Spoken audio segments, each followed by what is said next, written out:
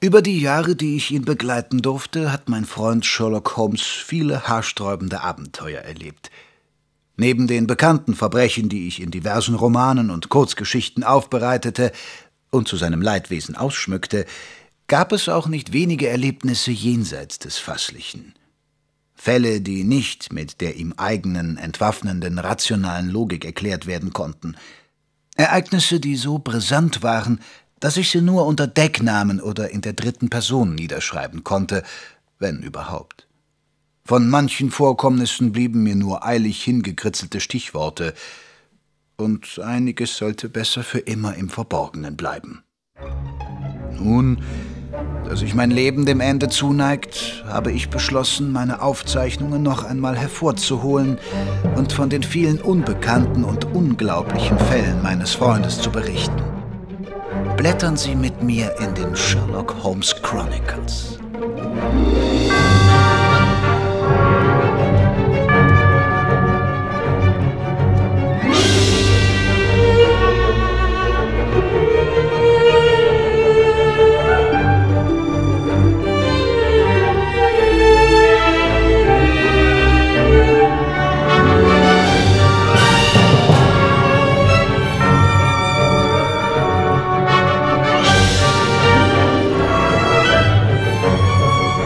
Sherlock Holmes Chronicles. Der Werwolf.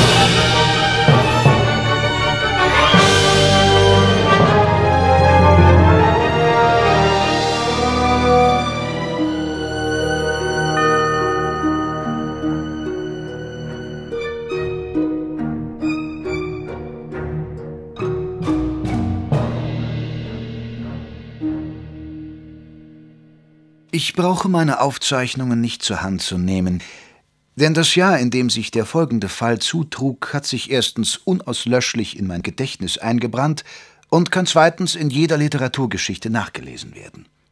Alles begann mit dem Erscheinen eines inzwischen weltberühmten Romans.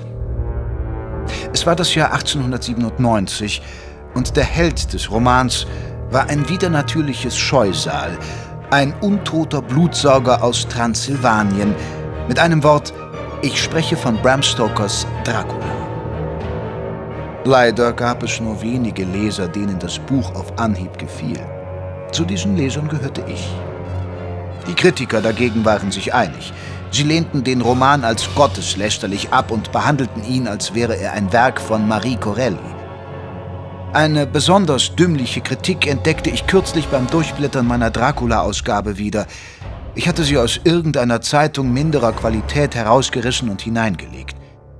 Der Rezensent M. Ary Lane verriss den Roman auf das Gründlichste, gab aber unumwunden zu, ihn überhaupt nicht zu Ende gelesen zu haben. Obwohl es sich bei M. Ary Lane möglicherweise um eine schreibende Amazone handelte, so denke ich noch heute, was ich damals dachte, nämlich, dass ein hohles Geräusch, das beim Zusammenstoß eines Buches mit einem Kopf zustande kommt, nicht notwendigerweise vom Buch herrühren muss.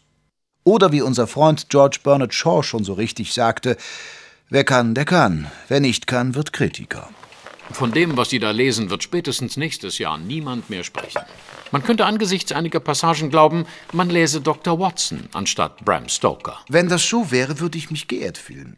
Aber selbst Sie dürften doch gemerkt haben, dass es sich durchaus um einen höchst originellen Roman handelt, selbst wenn ihn bornierte Kritiker nicht zu schätzen wissen. Sie sollten lieber etwas Wertvolles, Instruktives lesen, Watson.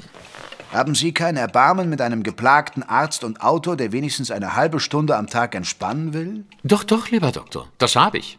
Aber muss man sich als kultivierter Mensch, als promovierter Mediziner sogar ausgerechnet bei Schundliteratur wie Dracula entspannen? Gehen Sie doch ins Konzert. Oder spielen Sie eine Partie Whist in Ihrem Club. Man muss sich ja seines Hausgenossen schämen. Ich kenne da jemanden, der tut zur Entspannung viel üblere Dinge. Was müssten sich dessen Hausgenossen erst schämen? Sie meinen fraglos Kilberg, den Sadisten? Nein, ich meine fraglos Holmes, den Kokainisten. Und nun lassen Sie mich gefälligst in Ruhe. Gehen Sie doch selber ins Konzert oder spielen meinethalben eine Partie Whist. Ich möchte jetzt lesen. Das Jahr 1897 erlebte nicht nur die Geburt eines Stücks Weltliteratur, sondern auch einen brütend heißen Sommer, der die Stadt regelrecht zum Dampfen brachte und im Verein mit den Hunderttausenden von rußenden Schornsteinen und Essen der Stadt einen förmlichen Dauernebel verursachte, der nur gelegentlich von den heftigen Sommergewittern vertrieben wurde, in denen sich die aufgestaute Hitze entlud. Dieser Dauernebel legte sich nicht allein Husten und Heiserkeit verursachend dumpfig auf Lunge und Bronchien, sondern auch aufs Gemüt, besonders bei meinem Freund und Hausgenossen. Vor kurzem hatte Holmes einige schwierige, ja bizarre Probleme lösen können, darunter das des Vampirs von Sussex, über das ich sicherlich irgendwann noch einmal berichten werde. Was sich zunächst wie ein übernatürliches Phänomen ausgenommen hatte, konnte bei Licht betrachtet, leider, muss ich sagen, mit den Mitteln des Verstandes auf völlig befriedigende Weise geklärt werden. Ich konnte nicht umhin zuzugeben, dass mir zur Abwechslung ein echter Vampir durchaus nicht unwillkommen gewesen wäre. Der Juli ging zu Ende. Ich war gerade enttäuscht aus der Stadt zurückgekehrt, nachdem ich vergeblich eine sensationelle Ausstellung in der Regent Gallery hatte besuchen wollen. Wegen Einbruchs geschlossen, hatte am Eingang gestanden. Auch gut, hatte ich mir gedacht und den illustrierten Handzettel, durch den ich auf die Ausstellung aufmerksam geworden war, eingesteckt. Nach Hause zurückgekehrt, warf ich den Handzettel achtlos auf den Rauchtisch und ließ mich im Sessel nieder. Gleich darauf weilte ich wieder in Transsilvanien. Holmes' Heimkehr nahm ich kaum wahr.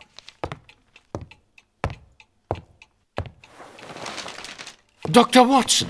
Ja, Holmes, was gibt's? Holmes hielt den Handzettel vom Rauchtisch in der Hand. Die hässlichste Frau der Welt. Die hässlichste Frau der Welt. Das müsste Sie doch als notorischen Frauenfeind interessieren. Ich bin mitnichten der Frauenfeind, als den Sie mich darzustellen belieben. Ich bitte aus dem Umstand, dass ich unbeweibt bin und es vermutlich auch bis zum Ende meines Erdendaseins bleiben werde, keine falschen Schlüsse zu ziehen. Ich verhalte mich, selbst wenn Sie das mit großer, gelegentlich an Bösartigkeit grenzender Vorliebe leugnen, im Gegenteil, Damen gegenüber stets ritterlich und zuvorkommend. Deswegen muss ich jedoch nicht gleich eine von Ihnen heiraten. Heiraten nicht? Wenn ich diesen sensationell aufgemachten Handzettel recht verstehe, handelt es sich bei der angeblich hässlichsten Frau der Welt um die öffentliche Zurschaustellung eines von Geburt an verunstalteten menschlichen Wesens durch einen gewissen Theodore Lent, um die Zurschaustellung einer Laune jener Natur, deren Geheimnisse Sie um jeden Preis geschützt wissen möchten. Ich finde das Begaffen dieses unglücklichen Menschenkindes, offen gesagt, eines Gentleman für unwürdig, Watson. Ich will niemanden begaffen, Holmes. Ich interessiere mich aus rein medizinischen Gründen für die Mumie. Mumie? Ach so. Man vergönnt dieser armen Frau also nicht einmal im Tode ihren wohlverdienten Frieden? Hypertrichose ist eine sehr seltene Krankheit. Julia Pastrana war eine Mexikanerin und verschied bereits 1860.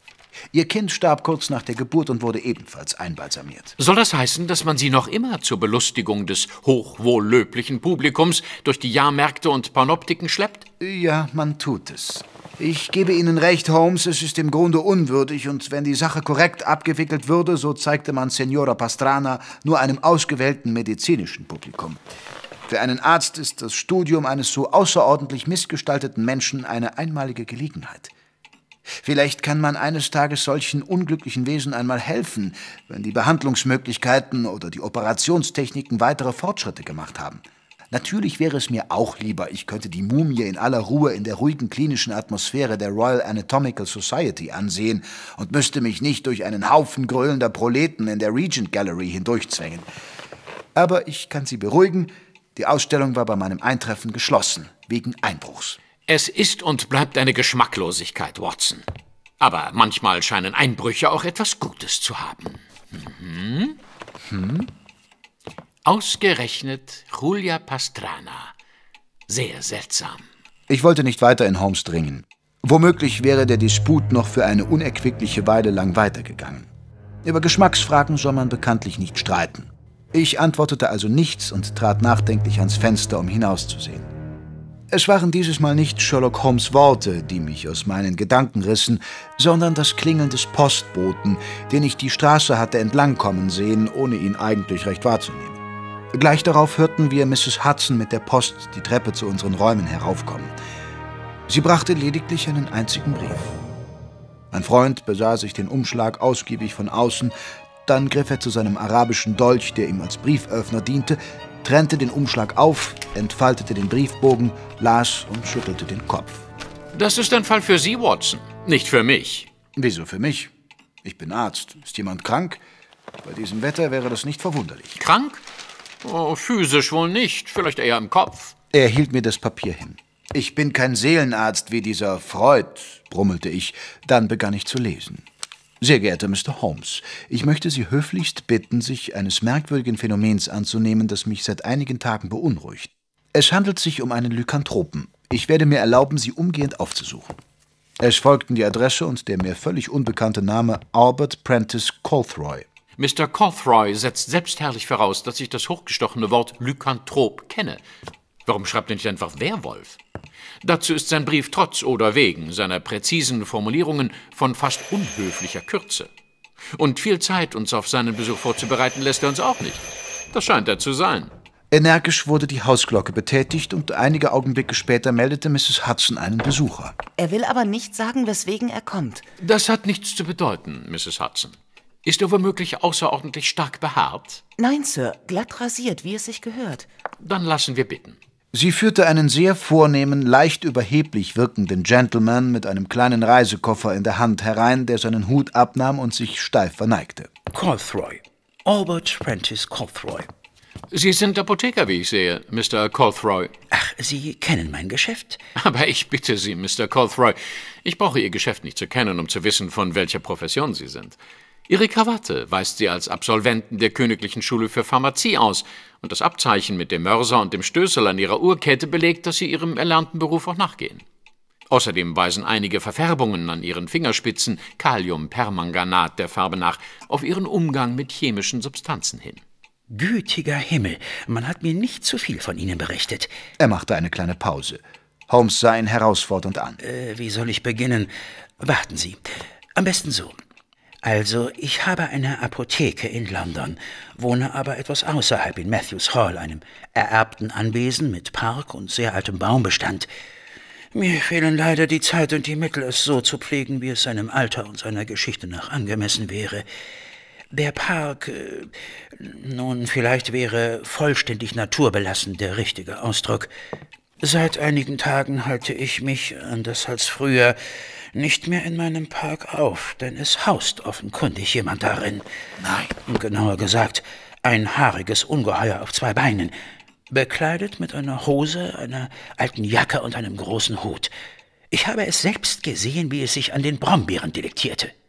Ein Wesen wie nicht von dieser Welt, wie aus einem Schauerroman. Äh, ich sehe, Sie besitzen ein Exemplar des Dracula. Ob ich es mir mal ausleihen dürfte, wenn Sie es gelesen haben? Verzeihen Sie, lieber Herr, aber ich pflege Bücher niemals auszuleihen. Oh. Ganz offenkundig sind Sie ein ausgemachter Geizkragen, Mr. Ja. Colthroy. Tja. Nicht nur, dass Sie die Anschaffung hm. eines Buches für zu teuer empfinden. Wenn Sie verreisen, sparen Sie auch gerne das Trinkgeld. Ja, das stimmt. Ich gebe auf Reisen aus Prinzip keinen Penny aus. Niemand soll aus dem Umstand, dass ich irgendwo als Fremder komme, Profit ziehen. Aber das können Sie unmöglich wissen, es sei denn, Sie kennen mich, ohne ich kenne dass Sie ich. Nicht. Aber ich weiß, was ich sehe und höre und ziehe meine Schlüsse daraus. Darf ich Ihnen meine Lupe anbieten? Hier, bitte. Der Messingbeschlag auf der Ecke Ihres Köfferchens. Sehen Sie die kleine mit einer Messerspitze oder einer starken Nadel eingeritzte Markierung in Gestalt eines Pfeils, der zur Ecke hin zeigt? Mhm. Darin kann jeder Domestik in der ganzen Welt ihren Geiz ablesen. Mein Koffer ist markiert? Wenn Sie so wollen. Man nennt es Gaunerzinken. Mm. Vielleicht haben Sie schon an einem Hoftor oder einer Haustür geheimnisvolle Kreidezeichen gesehen. Zum Beispiel einen Kreis, ursprünglich wohl eine Null. Das bedeutet, hier gibt es nichts. Landfahrer hinterlassen damit Hinweise für ihre Kollegen. Die Bedeutung ist dieselbe wie der Pfeil auf ihrem Koffer. Sie werden damit in aller Welt als Geistkragen erkannt. Und nun verlangen Sie, dass ich das böse, böse Tier aus Ihrem Garten scheuche, womöglich umsonst? Es mag Ihnen dumm vorkommen. Mr. Codthroy, die Beschreibung Ihres angeblichen Ungeheuers trifft halbwegs auf jeden zweiten Bettler in dieser Stadt zu. Zweifelsohne hat irgendein Unbehauster mit Rauschebart in Ihrem Park einen Unterschlupf gefunden und nascht an Ihren Brombeeren. Wenden Sie sich doch bitte wegen Hausfriedensbruchs an die Polizei. Inspektor Lestrade wird erfreut sein, sich einer so hochwichtigen Angelegenheit annehmen zu dürfen. Mehr kann ich Ihnen nicht raten, und dieser Rat ist, was Ihrem Geschmack entgegenkommen dürfte, umsonst. Guten Abend. Holmes erhob sich als Zeichen, dass die Audienz beendet sei. Colthroy schluckte, dann überreichte er Holmes seine Karte. Ich kann verstehen, dass meine Geschichte ganz und gar unglaubwürdig klingt, aber nachdem ich Dr. Watsons Berichte gelesen hatte, dachte ich, sollten Sie es sich anders überlegen, ich bin. Äh, ich werde Ihnen nichts nachtragen. Verzeihen Sie, schicken Sie mir eine Rechnung für Ihre Bemühungen. Ich werde mich nicht als kleinlich erweisen. Auf Wiedersehen. Nachdem unser Gast gegangen war, versuchte ich meinen Freund zu maßregeln. Holmes, Sie waren extrem unhöflich. Danke für den Hinweis. Geradezu impertinent. Wenn Sie es sagen. Ein erneuter, diesmal sehr zaghafter Zug an der Hausglocke verhinderte jede weitere Auseinandersetzung. Mrs. Hudson führte einen Jungen mit einem großen braunen Umschlag im Arm herein. Seine Mission war ihm offensichtlich fürchterlich unangenehm. Sind Sie Mr. Sherlock Holmes, Sir? Nein, Gott sei Dank, mein Name ist Dr. Watson. Mr. Holmes ist der reizende Herr dort im Sessel. Holmes schwieg. Den Umgang mit fremden Kindern überließ er für gewöhnlich mir. Was führt dich zu uns? Das hätte vor zwei Tagen bei uns vor der Tür gelegen. Es war ganz nass, obwohl es nicht geregnet hat. Das Ding ist hart wie ein Backstein. Aber außen drauf steht nur Sherlock Holmes, Baker Street 221b. Danke, mein Junge. Das ist für dich.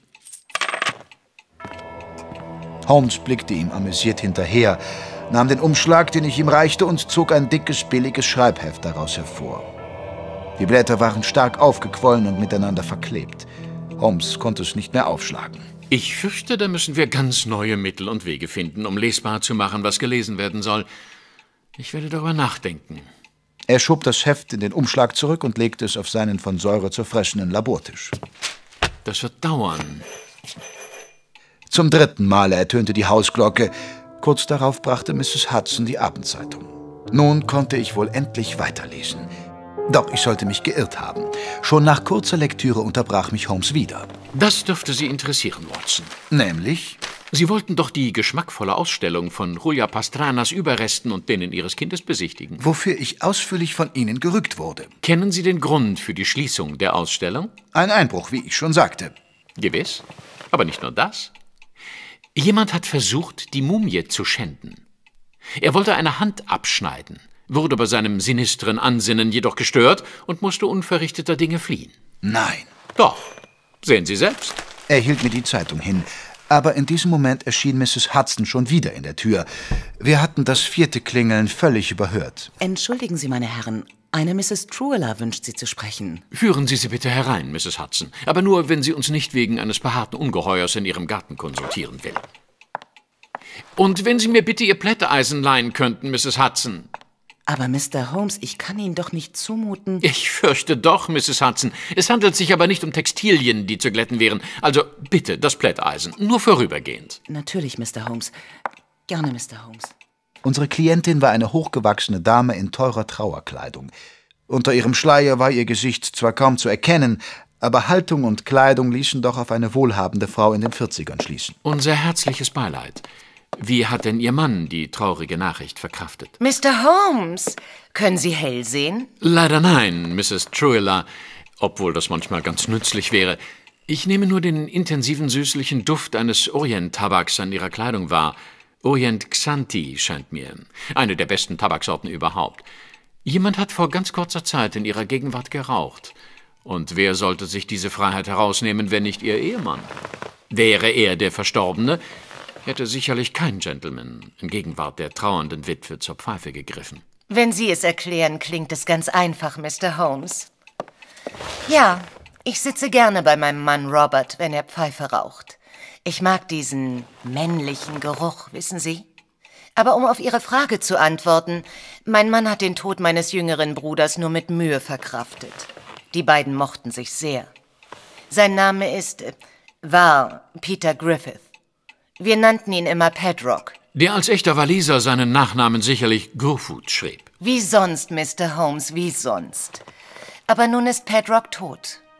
Padrock zog es immer schon fort von daheim. Er war unser Reisender. Pedrock liebte Ostindien und Indochina. Immer wieder reiste er dorthin und verstand es, das beruflich Nützliche mit seiner Liebe zu Ostasien zu verbinden. Genauer gesagt, seiner Liebe zu einer kleinen asiatischen Frau, die jedoch leider bei einer Überschwemmung in einem Fluss ertrank, obwohl Pedrock unter Einsatz seines eigenen Lebens versucht hatte, sie zu retten. Wenig später erkrankte er. Er schrieb, ein Fluch laste auf ihm und er begänne sich in einen Baum zu verwandeln. Wir verstanden das zunächst nicht und dachten, er meinte das im übertragenen Sinne. Mein Mann beschwor ihn inständig nach Hause zu kommen, doch Pedrock wollte nicht. Er wollte in der Nähe seiner kleinen Minkai sein, wo immer sie sein mochte. Er war so anhänglich. Dann merkten wir, dass er tatsächlich krank war. Sogar so krank, dass die Korrespondenz von seinem Freund und ärztlichen Betreuer Dr. Alliston Barthorpe übernommen und fortgeführt wurde. Zwei Jahre lang erfuhren wir nur wenig. Dr. Barthorpe schrieb uns, Padrocks Haut würde zunehmend von Warzen überwuchert, die ihn schließlich bewegungsunfähig gemacht hätten. Er könne daher nicht einmal mehr eine Feder halten, um uns zu schreiben. Offenbar hat sich Ihr Bruder eine seltene tropische Infektionskrankheit zugezogen. Die Medizin ist da häufig machtlos. Ja, das wurde uns auch klar. Aber plötzlich brachte Dr. Barthorpe meinen Bruder nach Hause. In einem verschlossenen Wagen unter größtmöglicher Geheimhaltung. Was war der Grund für den plötzlichen Sinneswandel? Pedrock spürte, dass sein Leben zu Ende ging. Er wollte zu Hause in Wales sterben. Dr. Barthorpe erfüllte seinen Wunsch und blieb bei ihm bis zu seinem Tod. Wir konnten mit niemandem darüber reden, dass Padrock wieder zu Hause war, durften seine Freunde nicht benachrichtigen und nicht in der Öffentlichkeit von ihm sprechen. Als er gestorben war, mussten wir ihn in aller Heimlichkeit beisetzen. Wobei es ihnen sicherlich besonders wichtig war, die englischen Behörden außen vor zu lassen. Obwohl der Thronfolger Kraft seines Amtes stets den Titel eines Prince of Wales führt, mochten die Waliser die Londoner Zentralgewalt nicht. Holmes war das ebenso bekannt wie mir. Die Behörden durften nichts von der Krankheit meines Bruders erfahren. Aber nun fingen die Merkwürdigkeiten erst an. Wir sind gespannt. Dr. Barthorpe war, was Padrock betraf, ein arger Geheimniskrämer. Wir mussten schon im eigenen Interesse Padrocks Anwesenheit in unserem Haus auf das strengste geheim halten. Seine Krankheit hätte uns womöglich selbst zu, zu Aussätzigen gemacht, wenn man davon erfahren hätte. Womöglich hätten die Behörden Petrock von uns fortgenommen und in eine Anstalt eingesperrt oder in eine Leprakolonie nach Indien oder auf Molokai gebracht, wo gerade dieser Pater Damien an der Krankheit gestorben ist. Diesen Politikern in London ist alles zuzutrauen. Sie unterbrach sich kurz, als wollte sie ihren Zorn hinunterschlucken. Wir selbst hätten uns natürlich in keiner anständigen Gesellschaft mehr blicken lassen dürfen. Das war es jedoch nicht. Uns machte vielmehr stutzig, dass Dr. Barthorpe stets einen geladenen Trommelrevolver mit sich führte. Wenn es möglich war, ging er nur nachts aus und die Medikamente mussten unsere Bediensteten bei verschiedenen Apothekern besorgen. Und immer wieder fragte er unsere Bediensteten, ob ihnen vielleicht Fremde aufgefallen wären, die nicht hierher gehörten. Fast schien es, als litte er unter Verfolgungswahn. Haben Sie nicht mit Ihrem Mann darüber gesprochen? Doch, selbstverständlich. Aber mit einem Trommelrevolver herumzulaufen, das hält er für normal. Er besitzt selbst so ein Mordinstrument. Er hat es sich in Russland gekauft. Smith und Wesson, nur mit kyrillischen Buchstaben geschrieben. Smita Evesona Orushienaya Fabrika. Sitz in Tula. Genau von dort stammte sie. Männer können in manchen Dingen wie Kinder sein. Aber meinem Mann lag natürlich wie uns allen daran, dass Padrock unentdeckt blieb und in Ruhe und Würde sterben durfte. Wo liegt nun das Problem, Mrs. Truila? Das Problem liegt darin, dass Dr. Barthorpe eines Nachts, kurz vor Padrocks Tod, tatsächlich auf jemanden schoss, den er glaubte im Garten gesehen zu haben. Was sagte Dr. Barthorpe dazu? Er erklärte, er hätte jemanden durch die Nacht schleichen gesehen und sofort geschossen. Weitere Erläuterungen gab er nicht. Und Ihrem Mann genügte das? Die langen Jahre in der Armee haben meinen Mann hart gemacht. Aber eigentlich bewundere ich gerade das so sehr an ihm. Und wie ging es weiter? Das ist das Merkwürdige. Pedrock starb, wir legten ihn in den Sarg, nagelten diesen zu und setzten ihn heimlich bei. Am Abend der Beerdigung verschwand Dr. Barthorpe spurlos. Er hat nicht einmal seine Sachen mitgenommen. Er war einfach mir nichts, dir nichts verschwunden. Das war vor drei Tagen. Er ist bis heute nicht mehr aufgetaucht. Um was für Sachen handelt es sich? Seine Kleider, jede Menge Bücher, meist medizinischer Art, den Lancet, handschriftliche Aufzeichnungen. Wir haben alles in Kisten gepackt und auf den Dachboden geräumt. Schließlich sollte niemand versehentlich darauf stoßen und unangenehme Fragen stellen. Einleuchtend. Aber Aber? Also, Dr. Barthorpe war außerordentlich penibel. Mein Mann hat ihn ein paar Mal in seinem Zimmer aufgesucht. Dabei fiel ihm auf, dass er seine Bücher alle genau der Größe nachgeordnet hatte. Die Buchrücken schlossen exakt mit den Regalbrettern ab. Mein Mann hat einen Blick für so etwas. Nach dem Verschwinden des Doktors standen die Bücher unordentlich im Regal.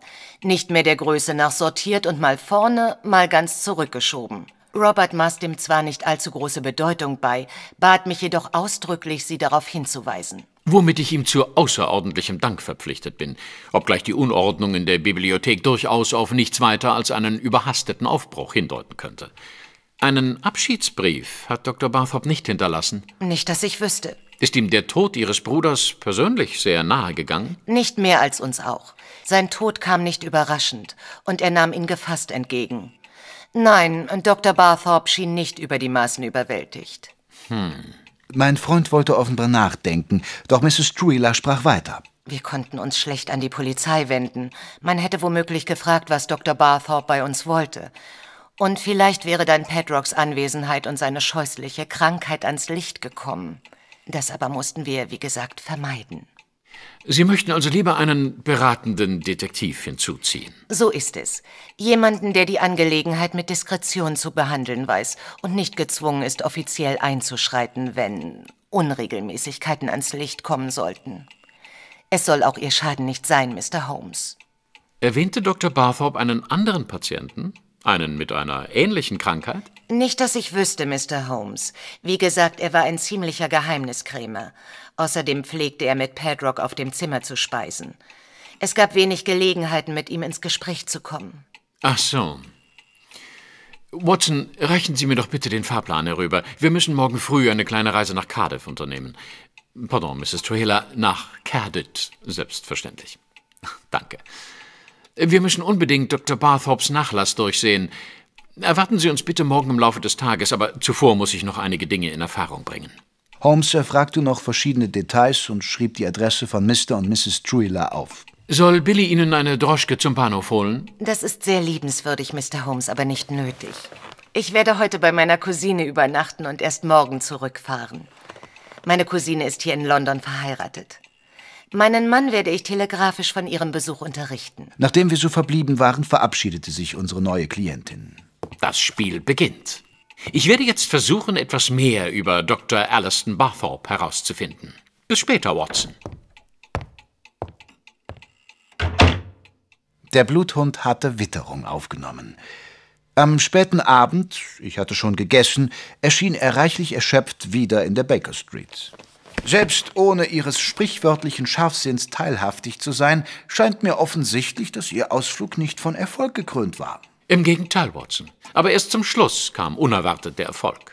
Wie so oft nach mühevoller Kleinarbeit. Mhm. Ich war in der British Library. Einen Dr. Alliston Barthorpe schien es nicht zu geben. Mrs. Truilla hatte von einem Freund und ärztlichen Berater gesprochen. Ja. Ich ging also wie selbstverständlich davon aus, dass es sich bei Dr. Barthorpe um einen Arzt handeln müsse. Folglich schaute ich zunächst in den Verzeichnissen der praktizierenden Mediziner nach, in den Jahrbüchern der medizinischen Fakultäten und so weiter. Aha. Jedoch vergeblich. Wie Sie wissen, sammle ich bereits seit meiner Schulzeit Zeitungsmeldungen über die kleinen und großen Katastrophen des Alltags, die ich in meine Scrapbooks klebe. Ja. Mrs. Hudsons Daily Herald ist in dieser Hinsicht eine wahre Fundgrube, aber das nur am Rande. Ob zwar sie sehr kurz ist und kaum der Erwähnung wert scheint, verdanke ich einer Zeitungsmeldung ausgesprochen viel. Es ist eine Meldung, deren Inhalt meine Gedanken seinerzeit in eine sehr wesentliche Richtung lenkte. Es war die Meldung über einen verheerenden Brand in einer Werft in Liverpool. Damals wurde ein komplettes Schiff zerstört, das gerade seinen Anstrich erhielt. So. Den Brand hatte ein Arbeiter verursacht, der eine Zigarettenkippe in eine Pfütze geworfen hatte. Seit wann brennen Pfützen? Ja, das fragte ich mich damals auch. Der Mann wollte seine brennende Zigarette löschen. Manche Menschen treten sie aus, er wollte es wohl besonders gut machen und warf sie in eine Pfütze.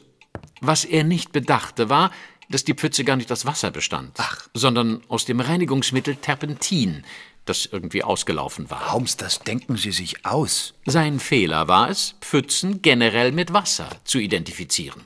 Und was lehrt uns das? Barthorpe, Watson. Barthorpe. Ganz einfach. Ah.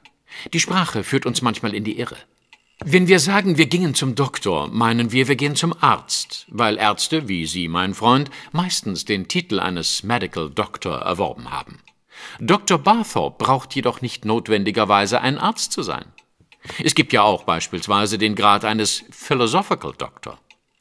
Nachdem ich mir diese Erkenntnis, wenngleich reichlich spät, vor Augen geführt hatte, begann ich noch einmal ganz von vorn. Und dieses Mal wurde ich fündig. Ah. Dr. Alliston Barthorpe ist ein Biologe und Chemiker. Seinen Titel hat er an der Friedrich-Wilhelms-Universität in Berlin in Deutschland erworben. Übrigens bei August Wilhelm von Hoffmann, der bis 1864 auch als Professor am Chemischen Institut der Royal School of Miners hier in London lehrte. Barthorpe hat, aber das nur am Rande, seinen Titel mit einer Arbeit über den Eisengehalt von Hemerytrin erworben. Sie sehen mich leider völlig ahnungslos. Der Blutfarbstoff mancher Ringelwürmer, ebenfalls rot wie unser Hämoglobin. Ringelwürmer? Igitt. Ringelwürmer. Und dankenswerterweise kann man in unserer guten alten British Library die wissenschaftliche Zeitschrift der Friedrich-Wilhelms-Universität einsehen.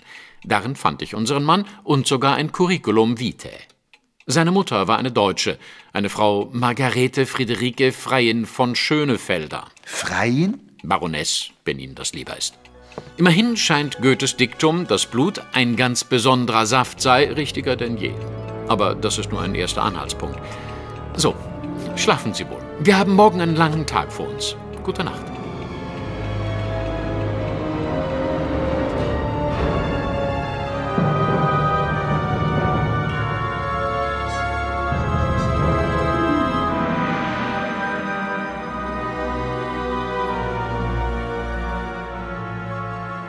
Robert Truila war ein rotgesichtiger, lebenspraller Mensch mit festem Händedruck, ein Stahlbaron durch und durch, geschäftstüchtig, laut und effizient. Er unterstützte unsere Nachforschungen nach Kräften und sehr großzügig. Wir durften in seinem Haus wohnen, in dessen Eingangshalle ein Porträt des verstorbenen Peter Griffith hing. Er war ein blonder Mann mit weichen, fast weiblichen Gesichtszügen. Die Ähnlichkeit mit Mrs. Truila war unverkennbar. Meine Frau hat es anfertigen lassen, bevor er für immer ins Ausland ging. Sie hing sehr an ihrem Bruder, obwohl auch ich. Äh, wir waren mehr als Schwager und Geschäftspartner. Wir waren Freunde. Er war meiner Frau sehr ähnlich. Ich verstehe. Holmes sah sich das Gemälde lange an. Er schien sich jeden Zug des Porträtierten einprägen zu wollen. Holmes und ich konnten in aller Ruhe die wenigen Schriftstücke durchsehen, die Dr. Barthorpe in seinem Zimmer zurückgelassen hatte. Man hatte alles in drei Holzkisten verpackt und sie vor neugierigen Blicken in irgendeinem staubigen Teil des Hauses untergebracht. Ein kräftiger junger Bursche brachte sie auf unser Zimmer. In der einen Kiste befanden sich lediglich alte Kleider. Zunächst unterzog Holmes sie, zum Teil mit der Lupe, einer gründlichen optischen Untersuchung. Dann stülpte er die Taschen und Hosenumschläge um, doch ich konnte seiner Miene ansehen, dass ihn das Ergebnis seiner Untersuchung wenig befriedigte. Er kratzte sogar mit dem Taschenmesser ein wenig Schmutz aus den Sohlen der Stiefel. Wir haben wahrscheinlich lediglich Erdkrumen aus dem Garten gefunden. Wahrscheinlich. Mrs. Truwiller sagte doch, Dr. Barthorpe sei kaum ausgegangen. Aber was halten Sie hiervon? Da schau her, Watson. Ich glaube, Sie haben mit sicherem Griff gleich das Wichtigste gefunden. Dr. Barthorpe hat ein Scrapbook geführt. Ganz ähnlich wie ich es tue. Holla! Was haben wir denn da? Sie meinen die ausgeschnittenen Artikel? Genau. Hochinteressant. Gemeinsam gingen wir die gesammelten Zeitungsausschnitte und Artikel aus medizinischen Fachzeitschriften durch. Die meisten handelten von seltsamen Erkrankungen und Todesfällen, die oft jene bizarren Aspekte aufwiesen, die Sherlock Holmes so schätzte. Die Verstorbenen waren mehrheitlich von seltenen Krankheiten dahingerafft worden, gegen die die Medizin in der damaligen Zeit noch keine Heilmittel kannte und vielleicht in den nächsten hundert Jahren auch keine entwickeln wird. Der erste dokumentierte Fall handelte von dem tragischen Tod des jungen Diplomaten Collister Shay, über den auch die Presse berichtet hatte. Shay hatte sich aus dem aktiven Dienst in Indien zurückziehen müssen, als eine schwere Ichthyosis vulgaris bei ihm zum Ausbruch kam. Diese tückische Hautkrankheit führt zu einer starken Verschuppung der Haut, die allmählich das Aussehen einer Schlangenhaut annimmt. Der permanente Juckreiz treibt die Patienten schier zum Wahnsinn. Peinliche Sauberkeit, Schälkuren und penibles Einreiben mit Fettcreme können die Krankheit nur vorübergehend eindämmen und Erleichterung verschaffen. Der weitere Verlauf der Erkrankung führt zum Ertauben und Erblinden und zu allmählicher Skelettdeformation. Dinge, die dem Erkrankten das Leben in der Gesellschaft, vor allem aber jedwede Tätigkeit im diplomatischen Dienst früher oder später unmöglich machen.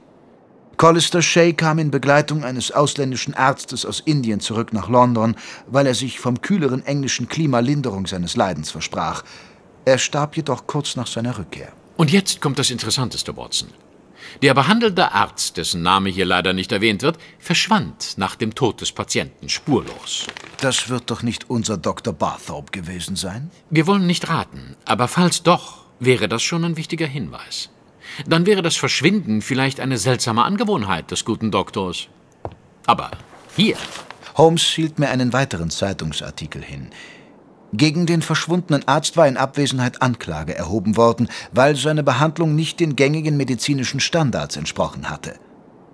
Er hatte Collister Shay, der allerdings ohnehin unrettbar verloren war, in seiner Verzweiflung Tierblut injiziert. Ich hatte von dem Fall damals gehört. Das war ein glatter Mordversuch. Menschenblut und Tierblut verträgt sich nicht. Das ist so. Aber leider hat sie niemand zur Rate gezogen, Watson. Wahrscheinlich erkannte der verantwortungslose Quacksalber, was er angerichtet hatte, und floh ins Ausland. Hier dürften wir sowieso zu spät kommen, um ihn zu fassen. Bedauerlich, ich hätte ihm gerne einige medizinische Grundbegriffe erläutert. Das nächste Konvolut handelte von Major Palmer Healy, der ebenfalls nach langer Krankheit aus dem Leben geschieden war, allerdings von eigener Hand. Major Healy musste seinen Dienst quittieren, als ihn lepromatöse Lepra befiel, die schwerste Form dieser furchtbaren Krankheit. Sie verändert die Haut, besonders im Gesicht, durch zahllose Knoten und Flecken. So entsteht das sogenannte Löwengesicht – Danach werden Knochen, Muskeln und innere Organe von einem geschwürigen Zerfall zerstört.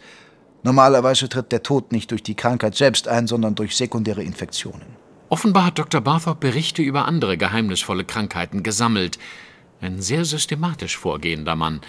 Daher bin ich über sein Verschwinden äußerst beunruhigt. Es passt nicht zu ihm. Ist er tot? Schauen wir erst einmal das hier an. Das muss seine Dissertation sein. Und das ist die Doktorurkunde. Genau wie Sie sagten, aus Deutschland. Und hier, Einfluss von Diäten auf die Zusammensetzung des Blutes. Von Dr. Karl Landsteiner, Wien. Der schreibt Ihnen doch gelegentlich. Oho, Sie überwachen meine Korrespondenz, mein Freund. Sie selbst haben mir erlaubt, die Briefmarken meiner Sammlung einzuverleiben, Holmes. Erinnern Sie sich nicht mehr? Doch, doch. Echauffieren Sie sich nicht, es war nicht so gemeint. Was noch? Wir sahen weitere private Papiere und Urkunden durch. Ich finde keinen Hinweis, dass Dr. Barthorpe einen weiteren Wohnsitz besessen hätte, weder hier noch im Ausland. Er scheint alles aufgegeben zu haben, um Mr. Grufford zu betreuen. Er hat lediglich in Stichworten eine Art Tagebuch über den Gesundheitszustand seines Patienten geführt. Hier, in diesem Schreibheft. Blutdruck, Temperatur, Stuhl, ärztliche Maßnahmen. Jeden Tag eine Notiz, aber nichts, was einen Hinweis auf den Grund für sein Verschwinden geben würde. Er war ein hervorragender Zeichner. Hier. Ich gab Holmes das Heft, damit auch er die Zeichnungen ansehen konnte. Sie zeigten den Verstorbenen und wirkten sehr lebensecht. Barthorpe hatte die Veränderungen durch die Krankheit penibel festgehalten. Nehmen Sie das Heft mit. Ich schob es in die Jackentasche. Vielleicht sagt uns das Grab noch mehr. Wir sollten den Leichnam einmal inspizieren. Holmes! Es geht nicht anders, Watson. Unser Gastgeber trug seine Frau, die inzwischen wieder zu Hause eingetroffen war, förmlich auf Händen. Und Mrs. Truila schaute begeistert und voller Leidenschaft zu ihrem Mann auf, obwohl schon 20 Ehejahre hinter den beiden lagen. Fast erfüllte mich ihre offensichtliche Zuneigung mit ein wenig Neid. Gemeinsam begaben wir uns zum Grab des unglücklichen Bruders und Schwagers. Es befand sich auf dem riesigen Grundstück der Familie und lag inmitten eines kleinen rechteckigen Zypressenhains. Nachdem wir durch eine schmale Lücke in der grünen Wand eingetreten waren, erblickte ich zu meiner Überraschung mehrere eingesunkene Gräber. Eine einfache Holztafel war dem Toten zu Häupten errichtet worden. Darauf stand ein walisischer Spruch, den ich nicht verstand. Reich ist, wer ohne Schulden, glücklich, wer ohne Krankheit. Übersetzte Mr. Truila, als er meinen fragenden Blick bemerkte. Hat sich an dem Grab jemand zu schaffen gemacht? Wie kommen Sie denn darauf, Mr. Holmes? Das ist unmöglich. Ich habe Sie und Ihre liebe Frau Gemahlin in den wenigen Stunden, die wir bisher Ihre Gastfreundschaft genießen durften, als sehr sorgfältige Menschen kennengelernt. Sicherlich mussten Sie bei der Beerdigung Ihres Schwagers mit einiger Eile zu Werke gehen, aber ich bin überzeugt, dass Sie die Zeremonie trotzdem mit Würde durchgeführt haben. War ein Geistlicher anwesend? Selbstverständlich. Einer, dessen Diskretion wir sicher sein können. Und als Totengräber fungierten einige kräftige männliche Bedienstete, auf deren Verschwiegenheit Sie sich ebenfalls verlassen können. Unser Butler Harris und der Kutscher Dick. Sie stehen seit Jahrzehnten in unseren Diensten und arbeiten sauber und zuverlässig. Außerdem konnten wir mehr Zeugen nicht verantworten. Sehen Sie, und deswegen verwundert es mich, dass hier Männer mit Erdklumpen an den Stiefeln durch das Gras gegangen sind. Hier. Und hier ist es deutlich zu sehen. Und verwunderlich ist auch, dass keine Blumen auf dem Grab liegen. Sie haben recht, Mr. Holmes. Meine Frau hat einen dicken Strauß weißer Lilien auf das Grab gelegt. Als letzten Gruß. Der ist in der Tat verschwunden. Ach was? Nicht ganz. Holmes bückte sich und zog mit spitzen Fingern ein weißes Blütenblatt aus der frischen Erde. Lilien. Wie Sie sagten. Jemand muss sie untergewühlt haben. Hier ist noch ein Blatt. Und dort ein ganzer Stängel. Ja, das soll mich doch der Wäre es möglich, das Grab noch einmal zu öffnen? Padrock exhumieren? Das würde meine Frau niemals zulassen. Und ich muss zugeben, auch mir ist diese Vorstellung äußerst unangenehm. Die Störung der Totenruhe ist in meinen Augen eines der schlimmsten Verbrechen. Und warum wollen Sie das überhaupt tun? Ich will den Hörer nicht mit den Verhandlungen langweilen, die mein Freund mit Mr. Truila führte, bis dieser letztendlich doch noch in sein Vorhaben einwilligte. Um Mrs. Truhila nicht in unnötige Aufregung zu versetzen, teilte Holmes ihr nicht mit, was er plante, sondern setzte sie von seinem angeblichen Scheitern in Kenntnis. Trotz ihrer offensichtlich großen Enttäuschung verabschiedete Mrs. Truila uns mit großer Höflichkeit, ja Herzlichkeit. Ihr Mann brachte uns selbst zum nächsten Bahnhof, wo wir allerdings mitnichten den Zug bestiegen. Vielmehr warteten wir bei Braten und Ale in einem Inn in der Nähe des Bahnhofs, bis uns der Kutscher Dick, den wir schon kannten, wieder abholte und bei Einbruch der Dunkelheit zu dem kleinen Heldenfriedhof begleitete, wo Chuila uns mit Butler Harris bereits erwartete.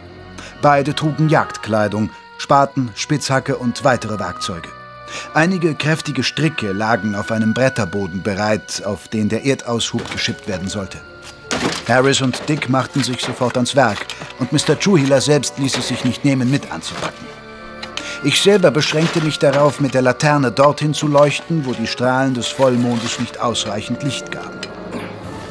Es war eine unheimliche Szenerie, und wenn jetzt noch Raben gekrächzt oder Käuzchen gerufen hätten, hätte man sich in einen Schauerroman versetzt gefühlt.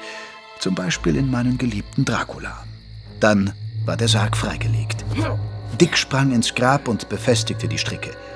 Mit vereinten Kräften beförderten wir den Sarg nach oben und verharrten einen Moment. Mögen Paddock und der Herr uns verzeihen. Amen, beschlossen wir alle, einschließlich meines Freundes, seine Bitte. Dann hob Holmes das Brecheisen, um es Mr. Truila zu reichen. Als dieser abwinkte, setzte Holmes das Instrument selbst. Ich habe schon mehrfach berichtet, dass mein Freund über außerordentliche Kräfte verfügte, die man seiner hageren Gestalt auf den ersten Blick überhaupt nicht zutrauen würde. Holmes stemmte sich mit einem kurzen Ruck auf das Brecheisen. Sofort hob sich mit lautem Krachen der Sargdeckel ein Stück. Holmes wiederholte den Vorgang auf der anderen Seite des Sarges und schon konnten wir vorsichtig den Deckel abheben.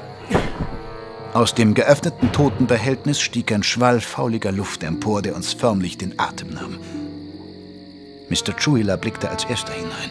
Nein, das ist unmöglich. Der Schein meiner Laterne fiel nicht auf einen von Krankheit entstellten Toten, sondern auf einen vollbärtigen Mann von vielleicht 70 Jahren in einem Anzug. Seine Zunge hing aus dem Mund, seine Augen waren aus den Höhlen gequollen. Barthorpe!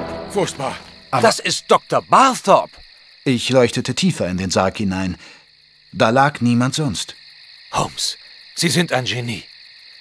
Aber wo ist Padrock? Das müssen wir herausfinden. Die Abwesenheit seiner sterblichen Überreste überrascht mich selbst. So viel scheint mir bis jetzt klar. Dr. Barthorpes Versuch, ihren Schwager zu schützen, war vergeblich. Ich fürchte, jemand hat den Leichnam geraubt. Möglicherweise sah Dr. Barthorpe den Grabräuber oder kannte ihn und wurde als lästiger Zeuge beseitigt. Und da sie die Beisetzung ohnehin unter konspirativen Bedingungen vornehmen mussten, konnte der Grabräuber Dr. Barthorpe bequem töten und in den Sarg legen. Aber wer tut so etwas? Auch das werden wir herausfinden. Allerdings fürchte ich, Sie werden um ein offenes Wort mit Ihrer Gattin nicht herumkommen. Dr. Barthorpe starb ganz offenkundig keines natürlichen Todes.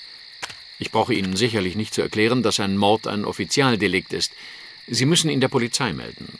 Bedenken Sie, Dr. Barthorpe hat vielleicht Angehörige, die über sein Schicksal im Unklaren zu lassen nicht rechtens wäre. Nein, nein, ja, Sie haben recht, Mr. Holmes.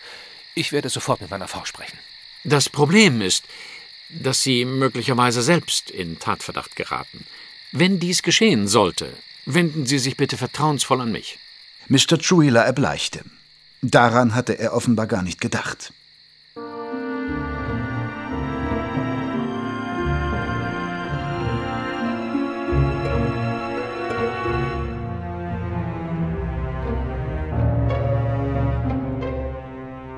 Wir erfuhren nicht, was Mr. Truhila und seine Frau besprachen, denn wir reisten umgehend nach London zurück.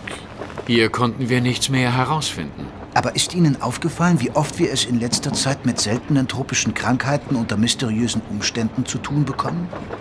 Erst Collister Shea, dann Major Palmer Healy und nun Pedro Gruffudd. Das kann doch kein Zufall sein. Nein, Watson. Das kann kein Zufall sein. Und die drei werden auch nicht die letzten Toten dieser Art sein, fürchte ich. Er versank in grüblerisches Schweigen und schaute während der gesamten Rückfahrt in Gedanken versunken nur noch aus dem Fenster.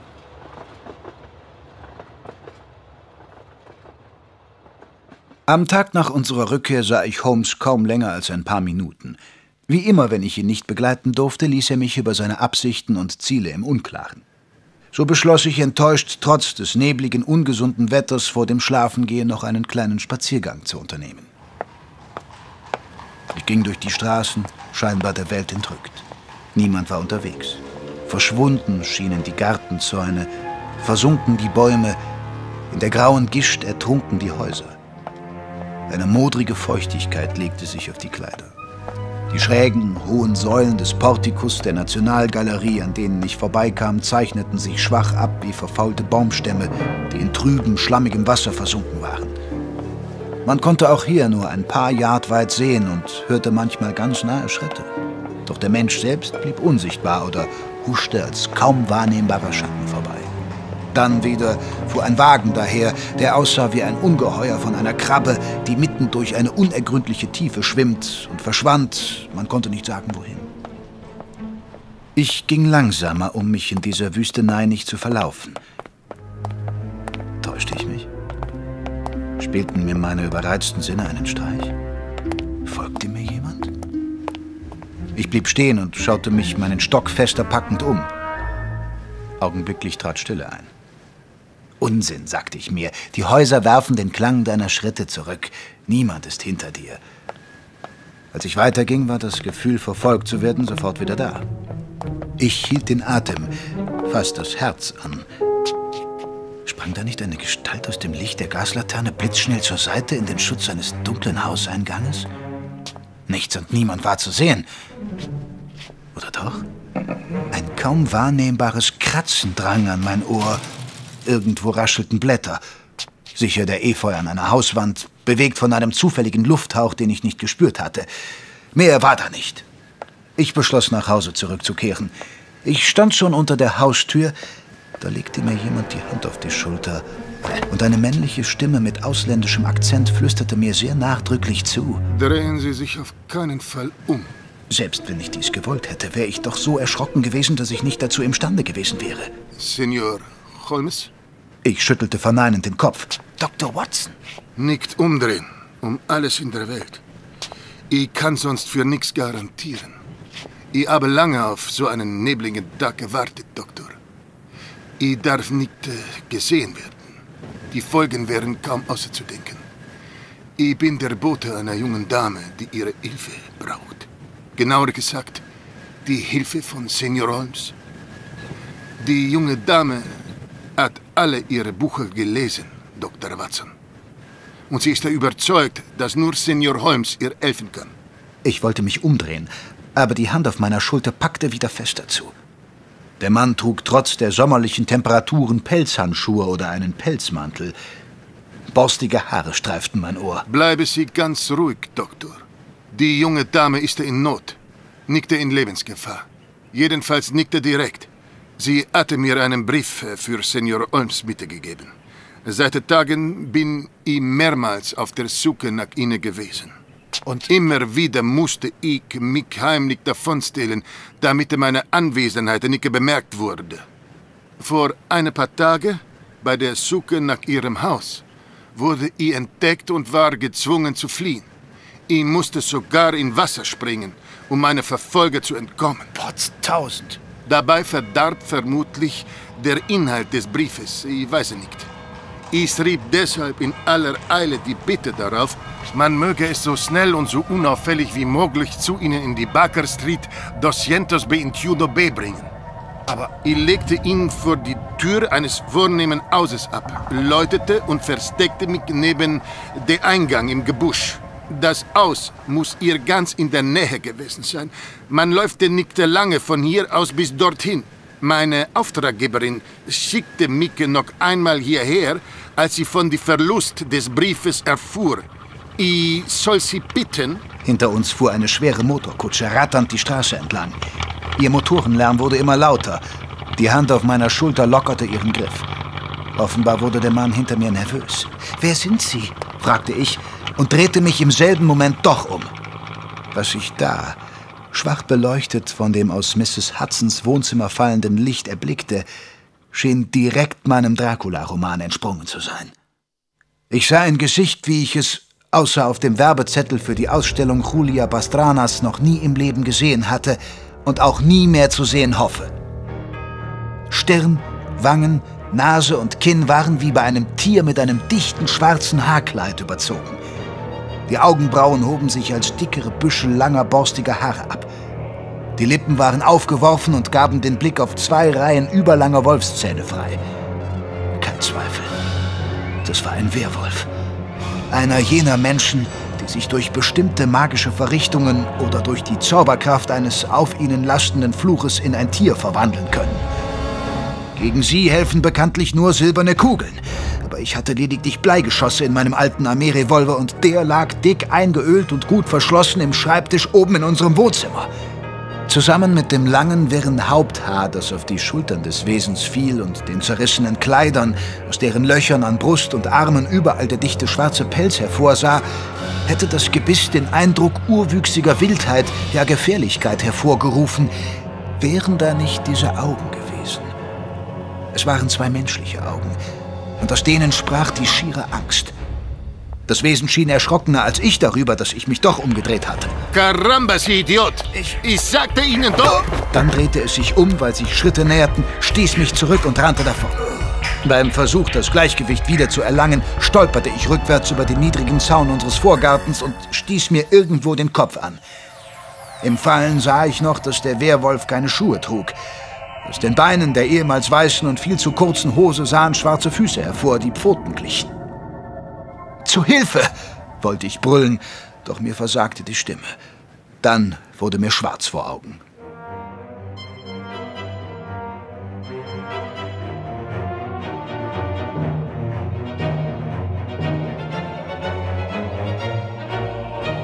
Wie lange mich die Ohnmacht umfing, bis mich Holmes Stimme ins Leben zurückrief, konnte ich nicht sagen. Seine Worte drangen wie durch Watte an mein Ohr.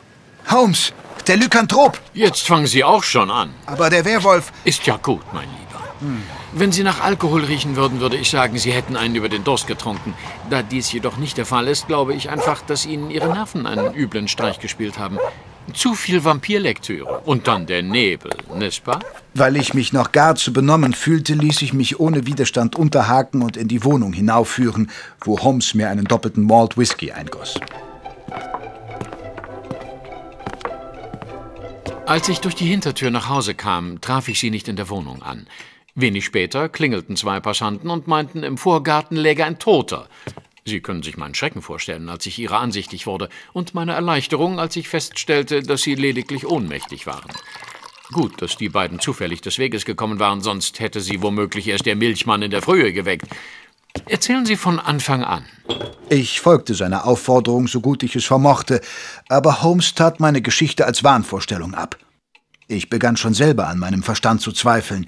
Erst als ich die Worte des Werwolfs möglichst detailliert wiederzugeben versuchte und berichtete, dass der Werwolf unsere Hausnummer in einer fremden Sprache aufgesagt hatte, begann mein Freund mir Glauben zu schenken. Schade, dass ich nicht persönlich bei Ihrem Gespräch mit dem äh, Wesen anwesend war aber ich vertraue auf Ihr phonetisches Gedächtnis. Wiederholen Sie noch einmal, wie er die Zahl aussprach. Doscientos veintiuno, glaube ich. Nicht duecento? Nein, nein, ganz bestimmt nicht duecento. Es war kein Italienisch. Also Spanisch. Wiederholen Sie noch einmal. Doscientos veintiuno. Was ist denn daran so wichtig? Nicht doscientos? Doscientos, mit S. Nicht wie die Portugiesen, bei denen es überall am Wortende zischt. Doscientos. Und wenn Sie mich steinigen? Das wird heute Abend sicherlich nicht nötig sein. Ähm, noch einmal den letzten Teil, bitte. Veintiuno. Mit B.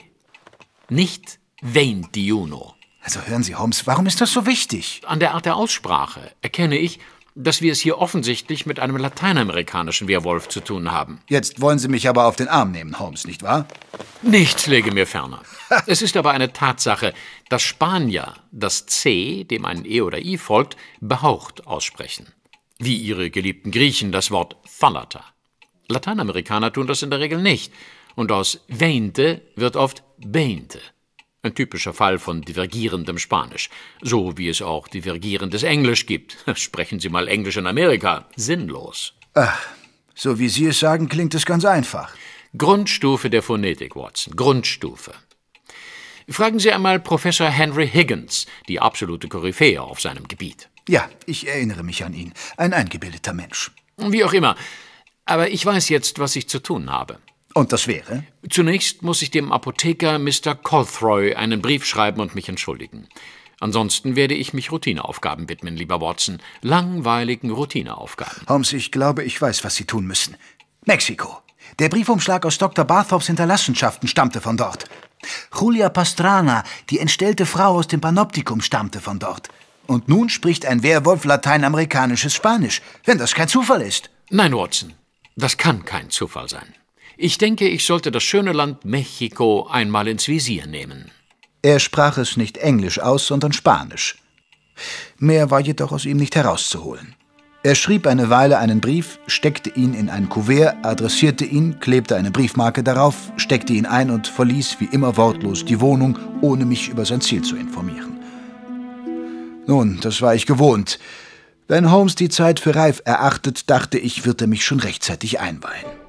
Ich wollte gleich zu Bett gehen, doch dann wurde ich zu einer Gebärenden gerufen, deren Kind, eine Steißlage, ich nach Stunden nur mit Mühe retten konnte. Als ich mich endlich ins Bett fallen lassen konnte, schlief ich sofort ein und erwachte erst am frühen Vormittag wieder. Holmes war bereits unterwegs, als ich gähnend aufstand, und ich wollte gleich nach dem Frühstück noch einmal nach Mutter und Kind schauen. Am Nachmittag fand ich mich wieder in unserem Wohnzimmer ein. Ich hatte in der Stadt gegessen. Holmes war immer noch nicht da. Erst in der Nacht erschien er wieder. Aber mein Gott, in welchem Zustand? Ich war gerade dabei, die Lichter zu löschen, um ins Bett zu gehen, als mein Freund ins Wohnzimmer gewankt kam, ein Wasserglas Whisky hinunterstürzte und sich mit zusammengebissenen Zähnen Mantel und Jacke vom Leib riss. Aber Holmes! Wohin würden Sie jemanden mit einer Eisenstange schlagen, Watson, wenn Sie ihn ganz sicher umbringen wollten? Wenn ich nicht wüsste, dass Sie politischen Demonstrationen grundsätzlich fernbleiben, würde ich sagen, dass Sie unter den Gummiknüppel eines höchst übellaunigen Polizisten geraten sind. Wenn es nur ein Polizist gewesen wäre. Au! Beim Ausziehen des Hemdes riss der Schorf wieder auf. Frisches rotes Blut rief in schmalen Rinnsalen über die Landschaft aus Beulen, Rissen und Blutergüssen.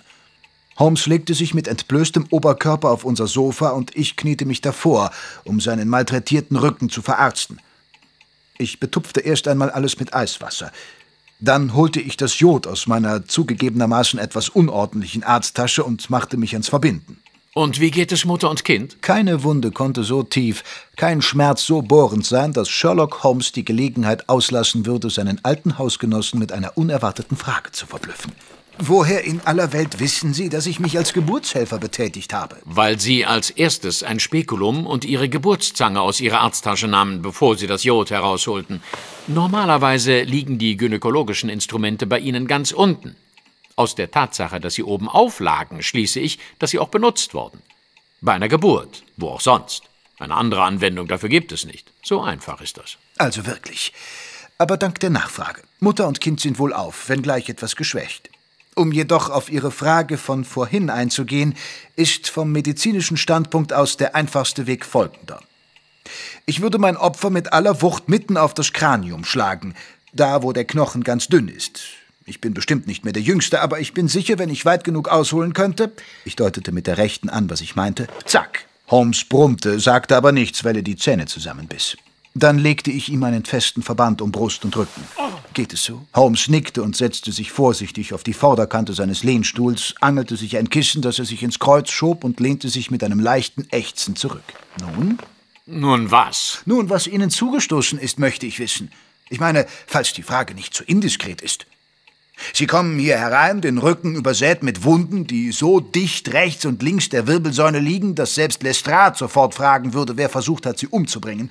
Ich weiß nur, dass es offenbar kein Polizeiknüppel war. Und was soll die Frage, wie man am besten jemanden totschlägt? Ich wollte mich eben vergewissern, ob das Totschlagen mit einer Eisenstange wirklich so umständlich vonstatten gehen muss wie in diesem meinem Fall, oder ob es nicht auch rascher, präziser geht. Es geht präziser, wie Sie mir freundlicherweise aus ärztlicher Sicht bestätigt haben.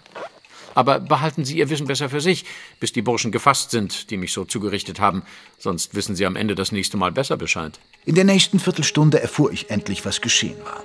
Mein Freund hatte sich ein wenig in der Hafengegend umgesehen. Vor allem hatte ihn interessiert, was in letzter Zeit so alles aus Spanisch-Amerika herübergekommen war.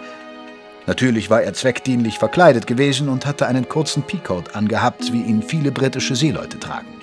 Schon auf dem Weg bemerkte ich, dass ich verfolgt wurde. Es waren zwei Männer, offenbar geübt im Beschatten. Wäre ich nicht vom Fach, sie wären mir nicht aufgefallen. In einer dunklen Ecke warteten sie dann auf mich. Einer wuchtete mir die Faust in den Magen, sodass ich zusammenknickte. Im nächsten Augenblick erhielt ich einen fürchterlichen Schlag in den Rücken und wurde nach vorn geworfen. Holmes trank noch einen Schluck. Ich sah einen wuchtig geführten Schlag mit einer langen Stange auf mich zukommen, tauchte darunter hindurch und hörte einen Mann aufschreien. Offenbar hatte mein Angreifer seinen Komplizen getroffen. Ich konnte in der Dunkelheit kaum etwas erkennen, und außerdem sah ich, ob Sie es glauben oder nicht, vor Schmerzen lauter kleine Sternchen vor meinen Augen auf und ab tanzen. Halb blind parierte ich noch zwei, drei Angriffe. Der Mann war ein geübter Stockfechter und enorm stark. Außerdem stank er fürchterlich nach Tabak. Es muss sich um einen starken Raucher handeln. Russische Papyrossi übrigens. Der Geruch war eindeutig. Wie auch immer. Ich warf die Arme schützend um den Kopf und wich zurück. Zwei fürchterliche Schläge trafen meine Rippen, einer links, einer rechts. Einmal konnte ich mich noch bücken, denn ich ahnte, dass nun der seitliche Hieb auf meinen Kopf folgen würde. Und richtig, ich hörte das Pfeifen des Stockes und spürte den Luftzug in den Haaren. Ein Stoß vor die Brust warf mich zurück. Ich fiel in einen Haufen Kisten und anderen Abfall, der da aufgestapelt war. Ich hatte keine Wahl mehr. Ich musste die Spielregeln durchbrechen. Schnell riss ich meinen Entenfuß aus der Tasche und schoss irgendwo hin, wo ich den Kerl vermutete. Dann wurde ich für einen Moment ohnmächtig. Während er erzählte, holte er eine merkwürdig geformte Pistole aus seinem Peacoat, den er vorhin einfach über den Sessel geworfen hatte, und legte sie vorsichtig auf den Tisch. Ich hatte gar nicht gewusst, dass mein Freund so ein Schießeisen besaß. Ich wagte nicht, es anzufassen, denn das Gerät hatte vier Läufe, die aber nicht in eine Richtung zeigten, sondern in verschiedene. Eben wie die Zehen bei einem Entenfuß. Ich kannte so etwas nur aus Seeräuberromanen, Kapitäne benutzten so etwas, um bei Meutereien eine größere Zahl von Menschen zu bedrohen oder sogar kampfunfähig zu schießen. Richtig angewandt mochte so ein Schießeisen eine verheerende Wirkung haben. Alle Achtung. Nicht wahr? Die Trillerpfeife eines Constable ganz in der Nähe riss mich aus meiner Ohnmacht. Nachdem ich mich vergewissert hatte, dass die beiden Angreifer geflohen waren, rappelte ich mich auf und rannte davon. Mit letzter Kraft erreichte ich die Baker Street. Holmes schien fast stolz auf seine Tat zu sein. Es wäre den beiden ein leichtes gewesen, mir in der dunklen Gegend den Schädel einzuschlagen. Ohne Vorwarnung. Einfach so. Vielleicht sollte es eine Warnung sein. Dann hätten Sie mich wahrscheinlich in diesem Sinne angesprochen. Und dann hätten Sie mich möglicherweise mit bloßen Fäusten, allenfalls mit einem Knüppel oder einer Peitsche, aber nicht mit einer schweren Eisenstange zusammengeschlagen. Vielleicht sollten Ihre Gesichtszüge gut erkennbar bleiben. Dann hätte man mich nur zu erstechen brauchen, Watson. Auch wieder wahr. Aus ärztlicher Sicht sollten Sie schlafen gehen. Heute können wir nichts mehr tun. Morgen sehen wir weiter. Ich zog aus meiner Arzttasche das Fläschchen mit dem leichten Schlafmittel hervor und reichte es meinem Freund. 20 Tropfen, kurz vor dem Einschlafen, wie immer. Morgen begeben wir uns auf die Suche nach den Kopfjägern. Holmes lächelte spöttisch. Ich konnte nicht anders als ebenfalls zu lächeln. Holmes war unverwüstlich.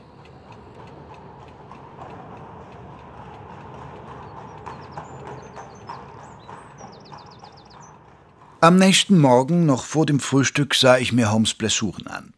Die Wunden machten einen guten Eindruck. Keine war infiziert, aber sein hagerer, sehniger Körper war überzogen von Schorf und Hämatomen. Er würde noch eine Weile bei jeder Bewegung Schmerzen haben. So wandte sich mein Freund dem Heft zu, das immer noch auf dem Labortisch seiner Behandlung harrte. Fortwährend kochte er Wasser, um Dampf zu erzeugen. Damit versuchte er vorsichtig, das oberste Blatt aus dem Block herauszulösen, doch es gelang ihm nicht wirklich. Immer wieder drohte das Papier vom Rand her einzureißen. Die glühende Kohle, mit der Mrs. Hudsons Plätteisen gefüllt wurde, musste immer erst abkühlen, damit die Hitze das Papier nicht beschädigte. Es war ein mühsamer Prozess, und gegen Abend hatte Holmes lediglich zwei Blätter herausgelöst, trocken gebügelt und zwischen Glasplatten gelegt. Ich zerstöre mehr, als ich gewinne. Ich muss mir etwas anderes ausdenken. Aber wir sollten unserer verehrten Vermieterin doch einmal eines dieser modernen Bügeleisen schenken, die man nur mit heißem Wasser statt mit Holzkohle befüllt. So ein Monstrum kann nur jemand erfinden, der noch nie im Leben gebügelt hat und es auch niemals wird tun müssen. Das Gerät ist mit Füllung mindestens drei Kilo schwer. Ich ziehe meinen Hut vor all den Hausmädchen, die damit umgehen können, ohne die Wäsche zu verderben. Sie werden doch auf Ihre alten Tage nicht noch zum Anhänger der Suffragetten avancieren. Ich will nur über mir keinen Herrn sehen und unter mir keinen Knecht. Und die Benutzung dieses Bügeleisens ist zur Technik geronnener Ausdruck von Knechtschaft. Sie können es gerne einmal probieren, falls Ihnen Ihre Lektüre Zeit dazu lässt. Öffnen Sie lieber das Fenster. Ihr Pfeifenrauch und das Kohlenmonoxid von der Kohle aus dem Bügeleisen haben allen Sauerstoff verbraucht. Sie haben recht, mein Freund. Holmes, offenbar versöhnlich gestimmt, öffnete das Fenster und arbeitete weiter. Ich griff wieder zu Dracula, kam aber nicht recht voran. Holmes rauchte Pfeife auf Pfeife, holte Bücher, blätterte darin herum und ließ sie neben seinen Sitzplatz poltern. Dabei ächzte er vor Schmerzen, grunzte ärgerlich oder gab Laute der Verwunderung von sich. Ich konnte mich überhaupt nicht konzentrieren. Da ich noch einige Dinge in der Stadt zu erledigen hatte, verabschiedete ich mich. Holmes brummte einen Gruß, ließ sich aber nicht unterbrechen. Als ich nach Hause zurückkehrte, war Holmes nicht mehr da. Ein flüchtiger Blick auf seinen Labortisch ließ mich das geheimnisvolle zusammengebackene Heft vermissen.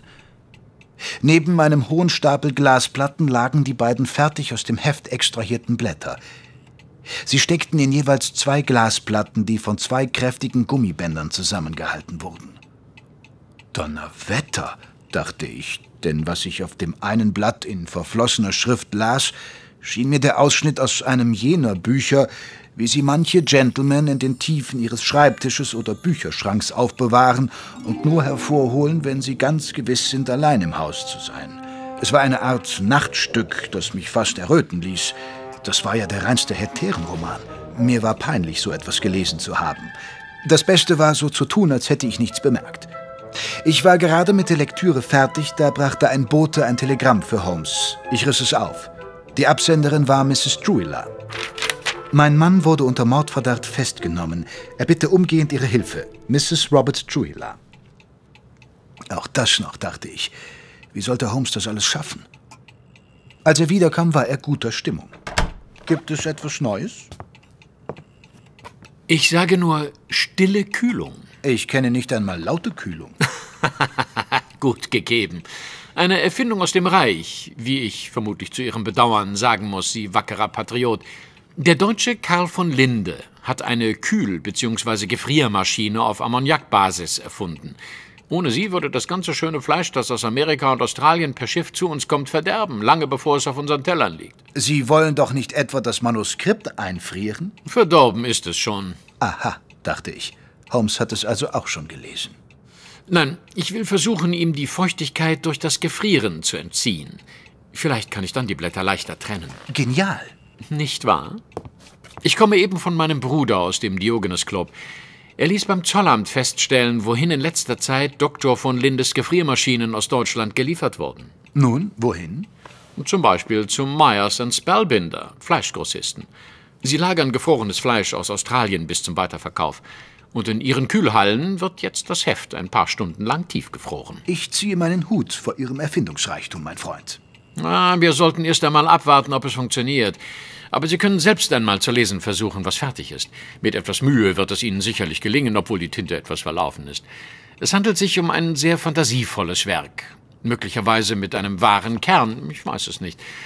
Aber es dürfte Ihrem derzeitigen Lesegeschmack entsprechen. Um nicht als neugierig zu erscheinen, nahm ich den Inhalt der Blätter noch einmal zur Kenntnis, tat aber so, als würde mir der unanständige Inhalt nichts ausmachen.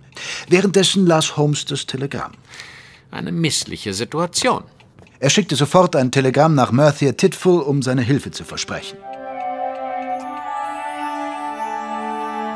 Als ich am nächsten Morgen nach dem Frühstück gerade zu meiner Lektüre greifen wollte, bekamen wir Besuch. Mr. Holmes, Dr. Watson, Inspektor Lestrade wünscht Sie zu sprechen. Soll hereinkommen. Aber er befindet sich in einem äußerst fragwürdigen Zustand, wenn ich das so sagen darf. Inspektor Lestrade befindet sich immer in einem äußerst fragwürdigen Zustand. Ich bitte Sie. Jedenfalls geistig. Das sind wir gewöhnt. So seltsam sah er aber noch niemals aus. Und so gerochen hat er auch noch nie. Soll ich ihn trotzdem heraufbitten? Aber nur ausnahmsweise, nicht wahr, Watson? Ja, ausnahmsweise, Mrs. Hudson. Wirklich nur ausnahmsweise. Lestrades Aufzug war in der Tat unbeschreiblich. Er spottete geradezu jeder Beschreibung. Er brachte eine Wolke peinlichen Geruchs mit ins Zimmer, den Geruch einer Sache, nach der zu riechen man sich im Alter von etwa zwei oder drei Jahren abzugewöhnen pflegt. Von den Stiefeln und Hosenbeinen angefangen, über die Hände und den ehemals weißen Vatermörderkragen bis hinauf zum Gesicht, war Lestrade darüber hinaus mit einer fettig glänzenden Rußschicht bedeckt. Aber, aber, Lestrade! Sie werden doch nicht Ihren Jugendtraum wahrgemacht haben und unter die Lokomotivführer gegangen sein. Welch ein Verlust für die Polizei. Sodawasser? Lestrade warf erschöpft seinen Donegal-Tweedmantel über die Lehne meines Sessels. Holmes' Gehässigkeit überhörend, ergriff er ohne zu antworten das Glas, das dieser ihm hinhielt, und trank es mit einem gierigen Zug leer. Das tut gut. Schön, Lestrade. Es hat also am Sewer gebrannt. Aber warum glauben Sie, dass es Mord war? Weil ich. Äh, Donnerwetter, Mr. Holmes. Woher wissen Sie denn das alles schon? Dass es gebrannt hat, kann sogar ein Blinder erkennen. Und dass es an einem Sewer passiert sein muss, riecht man. Und wie kommen Sie, um einmal zum Thema zurückzukommen, darauf, dass ich wegen eines Mordes durch die halbe Stadt gejagt bin, um mich dann von Ihnen verspotten zu lassen? Eben darum, mein Bester. Wer außer Ihnen würde meinen Spott ertragen, wenn nicht etwas wirklich Wichtiges anstünde? Holmes. Nun denn, jeder halbwegs aufmerksame Leser der heutigen Morgenzeitung dürfte darüber informiert sein, dass es in der Nacht in Barking in der Nähe des Sewers gebrannt hat. Ruß und Geruch, die wir beide an ihrer Kleidung wahrzunehmen das zweifelhafte Vergnügen haben, lassen keinen anderen Schluss zu als den, dass sie am Sewer ermittelt haben. Und wenn Sie nicht wollen, Lestrade, dass man Ihre Gedanken liest, sollten Sie sich abgewöhnen, Ihnen wichtig erscheinende Passagen in Zeitungen rot anzustreichen. Da, die Morgenzeitung, die aus Ihrer Manteltasche ragt. Der Tote im Feuer steht da, einmal unterstrichen.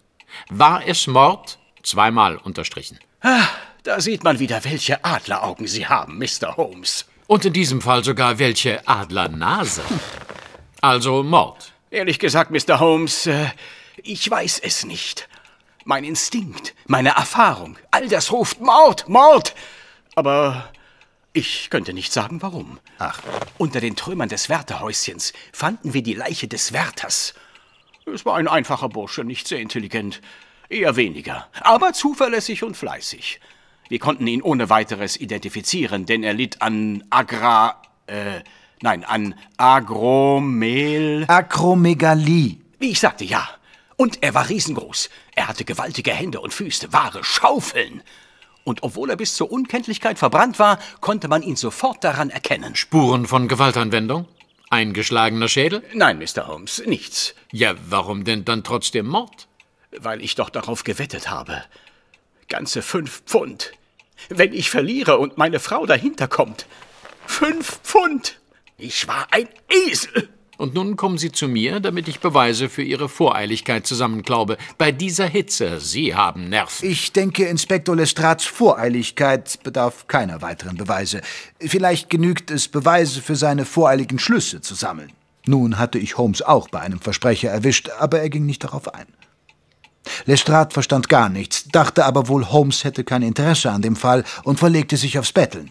Wenn ich nicht verliere, teilen wir den Gewinn. Einverstanden? Beim Jupiter. Zwei und ein halbes Pfund. Ein wahrhaft fürstliches Honorar. Dafür soll ich sogar noch bei dieser Hitze zum Sewer hinausfahren? Zum Schein machte ich mich zu Lestrats Anwalt, damit Holmes nicht länger auf diesem herumhacken konnte. Denken Sie doch einmal an Lestrats vier unmündige Kinder, Holmes. Wo ist denn Ihre Ritterlichkeit geblieben? Ihr Mitgefühl? Haben Sie ein Einsehen? Fahren Sie mit dem Inspektor hinaus. Nun gut, Watson. Überredet. Wir übernehmen den Fall zugunsten von vier notleidenden Polizistenkindern für zwei und ein halbes Pfund. Lestrade strahlte über sein ganzes schwarzes Gesicht. Im Leichenschauhaus, Sir! rief er vor Freude ein wenig zu laut, als ihn Holmes fragte, wo der Tote denn abgeblieben sei. Wir konnten ihn nicht länger draußen lassen. Die Hitze, Sie verstehen. Nach Ihnen, meine Herren. Unterwegs berichtete Lestrade, was wir noch nicht wussten. Der Name des Wärters war Peter Lushing. Man hatte ihn auch Big Pete genannt. Er hatte völlig zurückgezogen in seinem Wärterhäuschen gelebt, denn sein Beruf hätte engere Freundschaften unerfreulich werden lassen. Seine geringe Intelligenz hatte seine Einsamkeit zusätzlich vergrößert. Holmes Frage, ob Lushing mit irgendjemandem Streit gehabt haben oder in dunkle Geschäfte verwickelt gewesen sein könnte, verneinte Lestrade.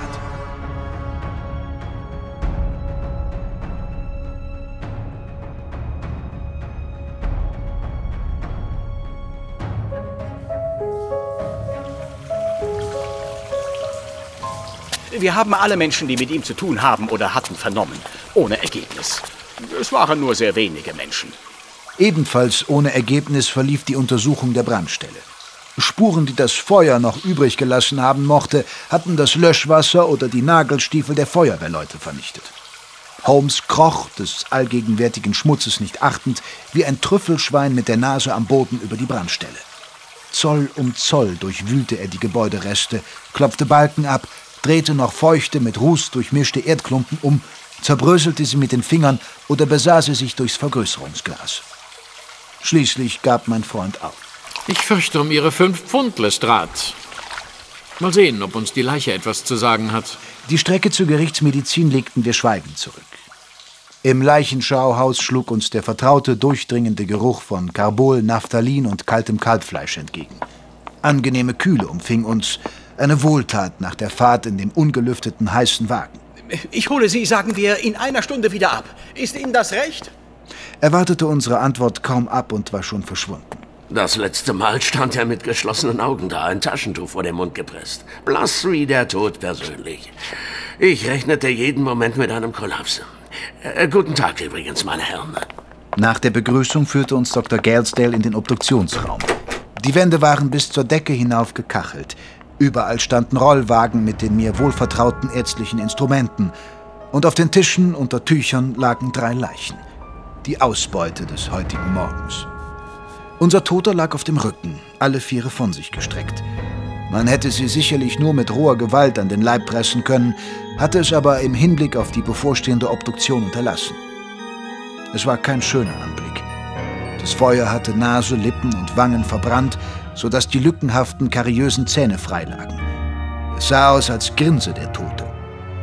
Die Augäpfel waren durch die Hitze verkocht. Wir blickten in leere Augenhöhlen. Die Kleidung, eine rissige Arbeitshose, eine ebensolche Jacke und grobstollige Halbstiefel waren mit der Haut zu einer schwarzen, unauflöslichen Masse verbacken. Holmes untersuchte zunächst den verkohlten Stoff der Arbeitskleidung mit der Lupe und ließ den Toten von Dr. Gelsdales Assistenten umdrehen. Als er nichts fand, was ihm weitergeholfen hätte, begannen Dr. Gelsdale und ich mit der Obduktion. In der Lunge fand sich kein Ruß. Das wäre der Fall gewesen, wenn Lushing erstickt wäre, er also rauchgeschwängerte Luft eingeatmet hätte. Big Pete war aber offensichtlich schon tot gewesen, als er verbrannte. Plötzlich zeigte mein Freund Anzeichen gesteigerter Aufmerksamkeit. Er kratzte mit einem Skalpell am Brustbein herum, untersuchte den Knochen mit der Lupe und pfiff durch die Zähne. Weiß und glatt leuchtete der Knochen aus dem schwarz verbrannten Fleisch heraus. Wissen Sie, was das bedeutet, meine Herren? Ich nehme an, dass der Mann dem Feuer nicht lange genug ausgesetzt war. Die Knochen hatten keine Zeit, schwarz zu werden. Vielleicht, vielleicht auch nicht. Ein kleines Experiment wird uns weiterhelfen. Ich teile Ihnen das Ergebnis mit, Doktor. Ich sah ihm an, dass er mehr wusste, als er sagen wollte. Einen Moment noch bitte, meine Herren. Ich möchte Ihnen etwas zeigen. Er ging zu einem Tisch, auf dem unter einem weißen Tuch ein weiterer Leichnam lag. Wurde heute Morgen als Wasserleiche eingeliefert. Er hatte sich im Netz einiger Flussschiffer verfangen, die ihn herbrachten. Sie waren heillos erschrocken und hätten ihn wahrscheinlich gleich wieder ins Wasser geworfen, wenn Sie sich nicht eines Besseren besonnen hätten. Sie hofften sich wohl eine Belohnung, die es dafür jedoch nicht gab. Deshalb brachten sie ihn her. Dann zog er mit theatralischer Geste das Tuch von dem Leichnam. Im ersten Moment dachte ich, es handle sich um einen toten Schimpansen. Der Tote war vom Scheitel bis fast zur Sohle in schwarzen Pelz gehüllt. Aber das ist doch, ich meine, äh, das war mein Werwolf. Die Herren kennen sich bereits. Watson, ich schulde Ihnen weitere tausend Kniefälle. Ist das wirklich Ihre nächtliche Begegnung vor der Haustür? So wahr ich John Hamish Watson heiße. Wie ist der Ärmste denn gestorben? Ertrunken. In unserer guten alten Mutter Themse. Aber wenn Sie bereits das Vergnügen hatten, Sie wissen, warum er so aussieht. Hypertrichose. Eine seltene Blutkrankheit. Blut. Schon wieder. Er sprach zu seinen Lebzeiten unter konspirativen Bedingungen, wenn ich so sagen darf, bei uns vor. Und er hat meinem Freund und Mitbewohner hier den Schrecken seines Lebens eingejagt. Hätte ich ihm früher Glauben geschenkt, könnte er vielleicht noch am Leben sein. Ertrunken, sagten Sie? Naja, alles deutet darauf hin. Die Lunge ist voller Wasser. Das ist seltsam. Dr. Watson gegenüber erwähnte der Unglückliche schon einmal ins Wasser gefallen, aber wieder herausgekommen zu sein. Offenbar beherrschte er doch wohl bis zu einem gewissen Grad die Kunst des Schwimmens. Warum also ist er ertrunken? Weist der Tote irgendwo Verletzungen auf? Wurde er vielleicht niedergeschlagen und dann in die Themse geworfen? Ich äh, schaue ihn mir noch einmal genau an. Informieren Sie vorsichtshalber Scotland Yard. Herr Kollege, glauben Sie wirklich, dass Inspektor Lestrade wegen eines Ertrunkenen, äh, selbst wenn es aussieht wie dieser hier, auch nur einen Finger rührt? Da müsste schon ein Hackebeil mitten in seinem Kopf stecken. Lestrade ist ein ausgemachter Ignorant. Da würde ich nur ungern widersprechen, Doktor. Ihn zu unterrichten hat wohl derzeit tatsächlich keinen Wert. Benachrichtigen Sie mich bitte, wenn Sie noch etwas finden. Es ist sehr wichtig und steht möglicherweise sogar im Zusammenhang mit dem Fall des unglücklichen Sjoa-Wärters. Wir müssen uns dringend verabschieden. Holmes eilte bereits durch den Flur, während ich mich noch rasch bei meinem Kollegen für seine Unterstützung bedankte. Lestrade wartete draußen auf der Straße. Zu seinen Füßen lagen die Überreste von mindestens einem Dutzend Zigaretten, die er geraucht hatte, während wir Big Pete obduziert hatten. Halten Sie Ihre zweieinhalb Pfund bereit, Lestrade. Mehr kann ich Ihnen nicht empfehlen. Kommen Sie, Watson.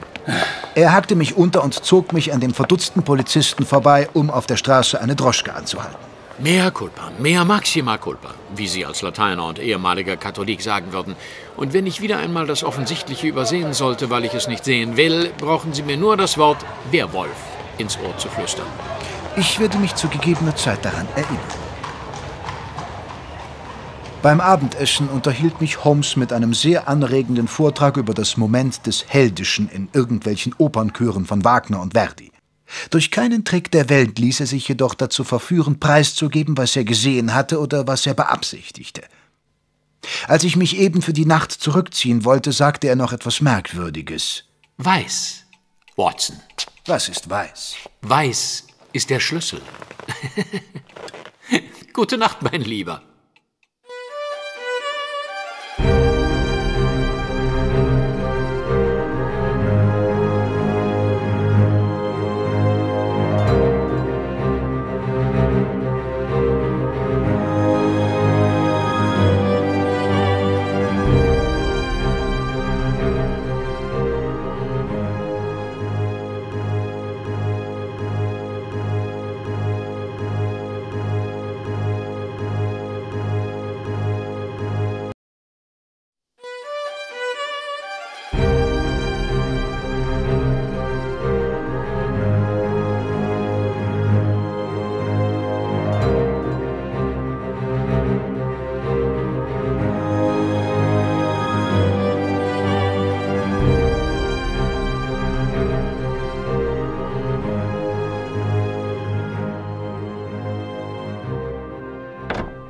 Morgen, mein Lieber.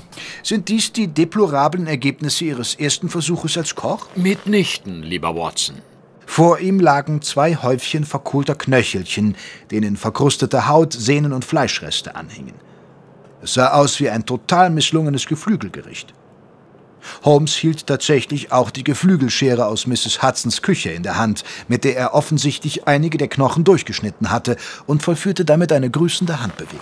Mrs. Hudson ist über den Plausch mit der Nachbarin ein kleines Missgeschick unterlaufen. Ich hoffe, Sie haben Geld, uns stattdessen auszuführen. Jederzeit, mein Freund, jederzeit. Aber im Ernst, was ist das Abscheuliches da auf dem Tisch? Statt einer Antwort hielt mir Holmes etwas hin, das einmal ein Hühnerbein gewesen sein musste. Wofür würden Sie das halten, Watson? Für Huhn oder Hähnchen. Richtig. Und das? Dito. Wieder richtig. Und nun betrachten Sie einmal die Knochen genauer. Was fällt Ihnen auf? Ich nahm die Stücke in die Hand. Auf den ersten Blick fiel mir nichts auf, doch dann bemerkte ich, dass die Schnittfläche des einen Knöchelchens weiß war, die des anderen schwarz. Und was schließen Sie daraus, Watson? Ich zuckte die Schultern. Na schön. Die Frage ist im Grunde auch nicht fair gestellt, denn Sie können die Antwort durch das bloße Betrachten der Knochen nicht finden. Und Sie wissen auch nicht, was ich an diesem wunderschönen heutigen Morgen mit beiden Hühnern angestellt habe. Also, das Blut, dieser ganz besondere Saft, hat Schuld. Dies ist übrigens nicht die Meinung des geschätzten Grafen Dracula, sondern des deutschen Dichters Goethe. Man denke. Ja, nicht? Doch fahren wir fort. Die Knochen ausgebluteter Wirbeltiere bleiben weiß, wenn sie verbrannt werden. Befindet sich das Blut noch dort, wo es hingehört, schwärzen sie sich. Dann hatte unser Toter vom Sewer also keinen Tropfen Blut mehr in den Adern, als er verbrannte. Selbst bei Verbluteten verbleibt noch gut ein Liter davon in den Blutbahnen. Ergo? Ergo sind Sie um zwei und ein halbes Pfund reicher, guter Holmes, denn die Sache sieht ganz nach einem Mord aus. Ich habe nie mein Honorar mit größerer Genugtuung verdient, Watson, und schlage vor, es sinnlos zu verjubeln. Darf es ein Mittagessen bei Simpsons sein? Mein Dank wird Ihnen gewiss sein. Aber mich würde interessieren, warum man Big Pete seines gesamten Blutes beraubt und ihn anschließend verbrannt hat. Wer tut denn so etwas? Wir werden Lestrade raten, sich einmal unter den Touristen aus Transsilvanien umzuhören. Vielleicht hatte jemand von Ihnen Appetit auf einen ganz besonderen Aperitif? Nun mal im Ernst, Holmes. Was glauben Sie?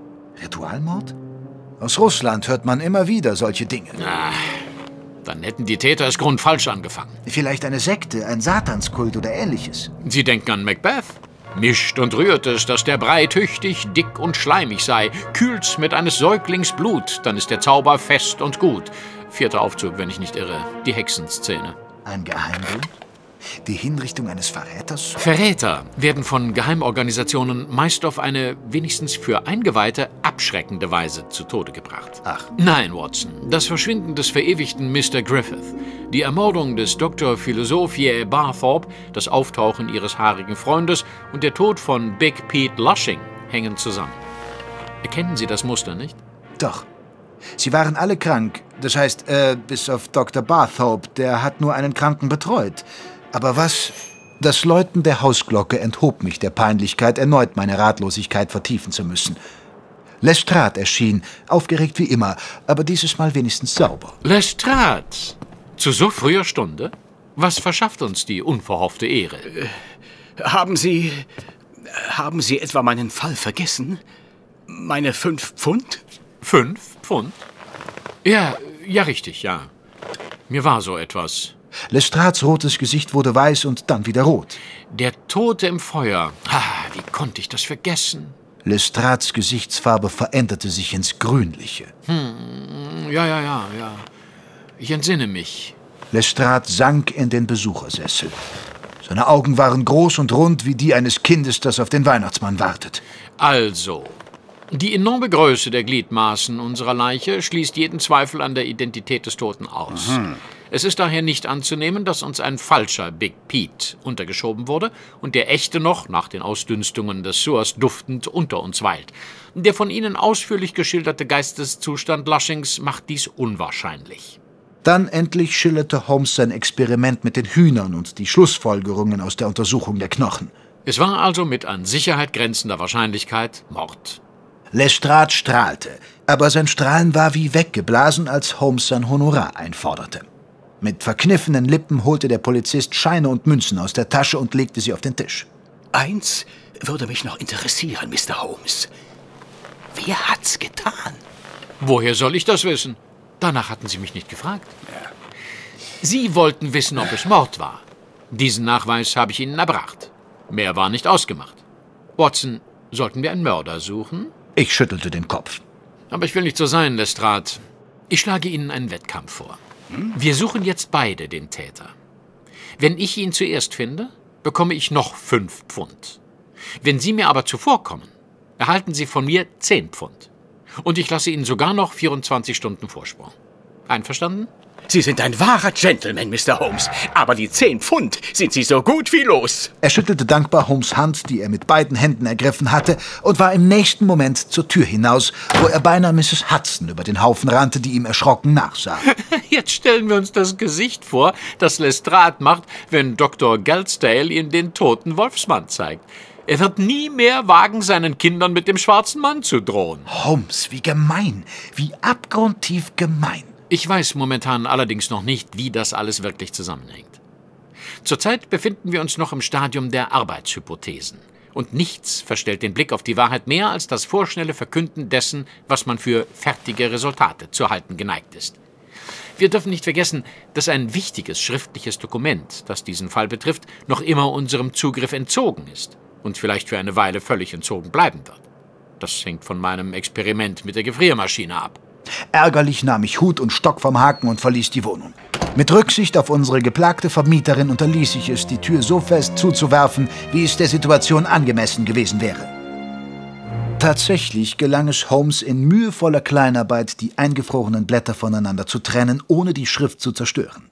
Nachdem sie durch eine intensive Behandlung mit dem Plätteisen getrocknet, zwischen Glasplatten gelegt und mit Gummibändern fixiert waren, gab er mir zu lesen, was noch lesbar war.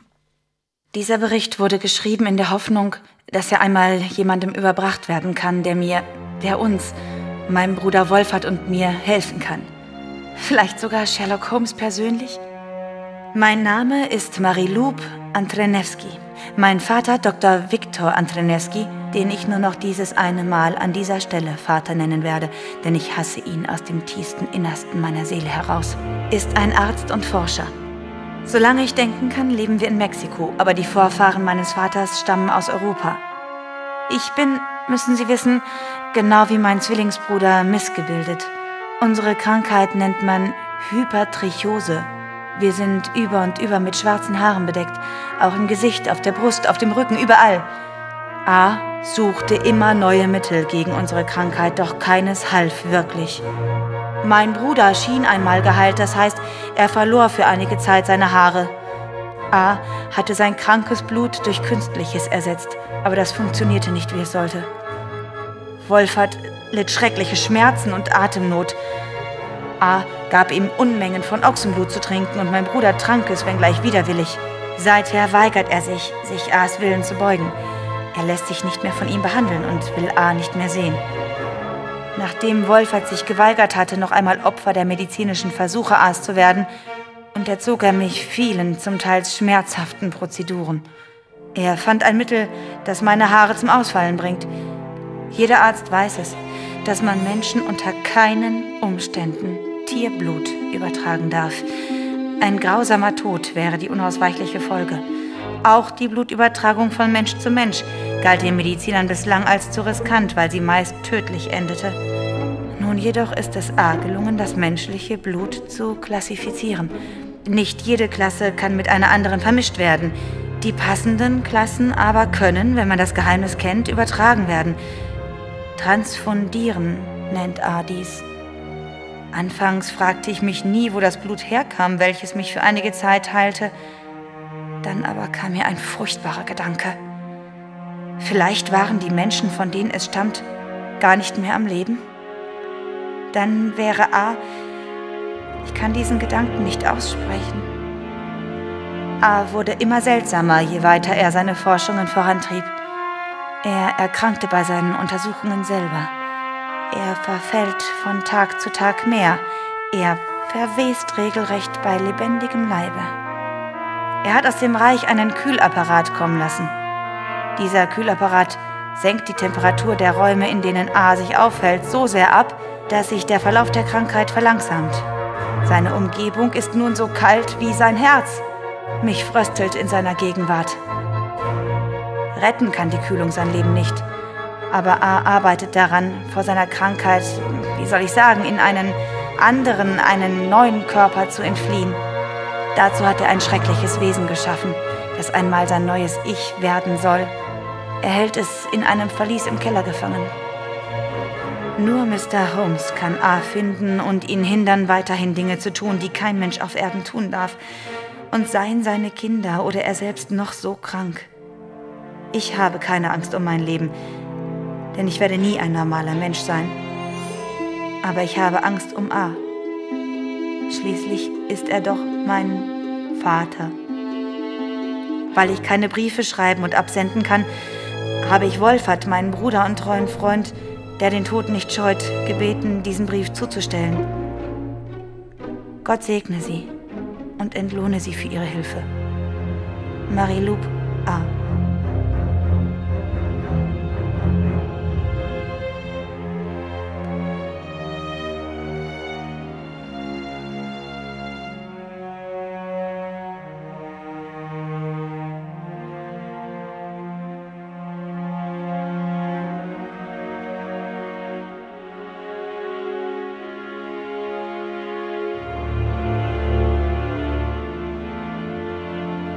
Schau her.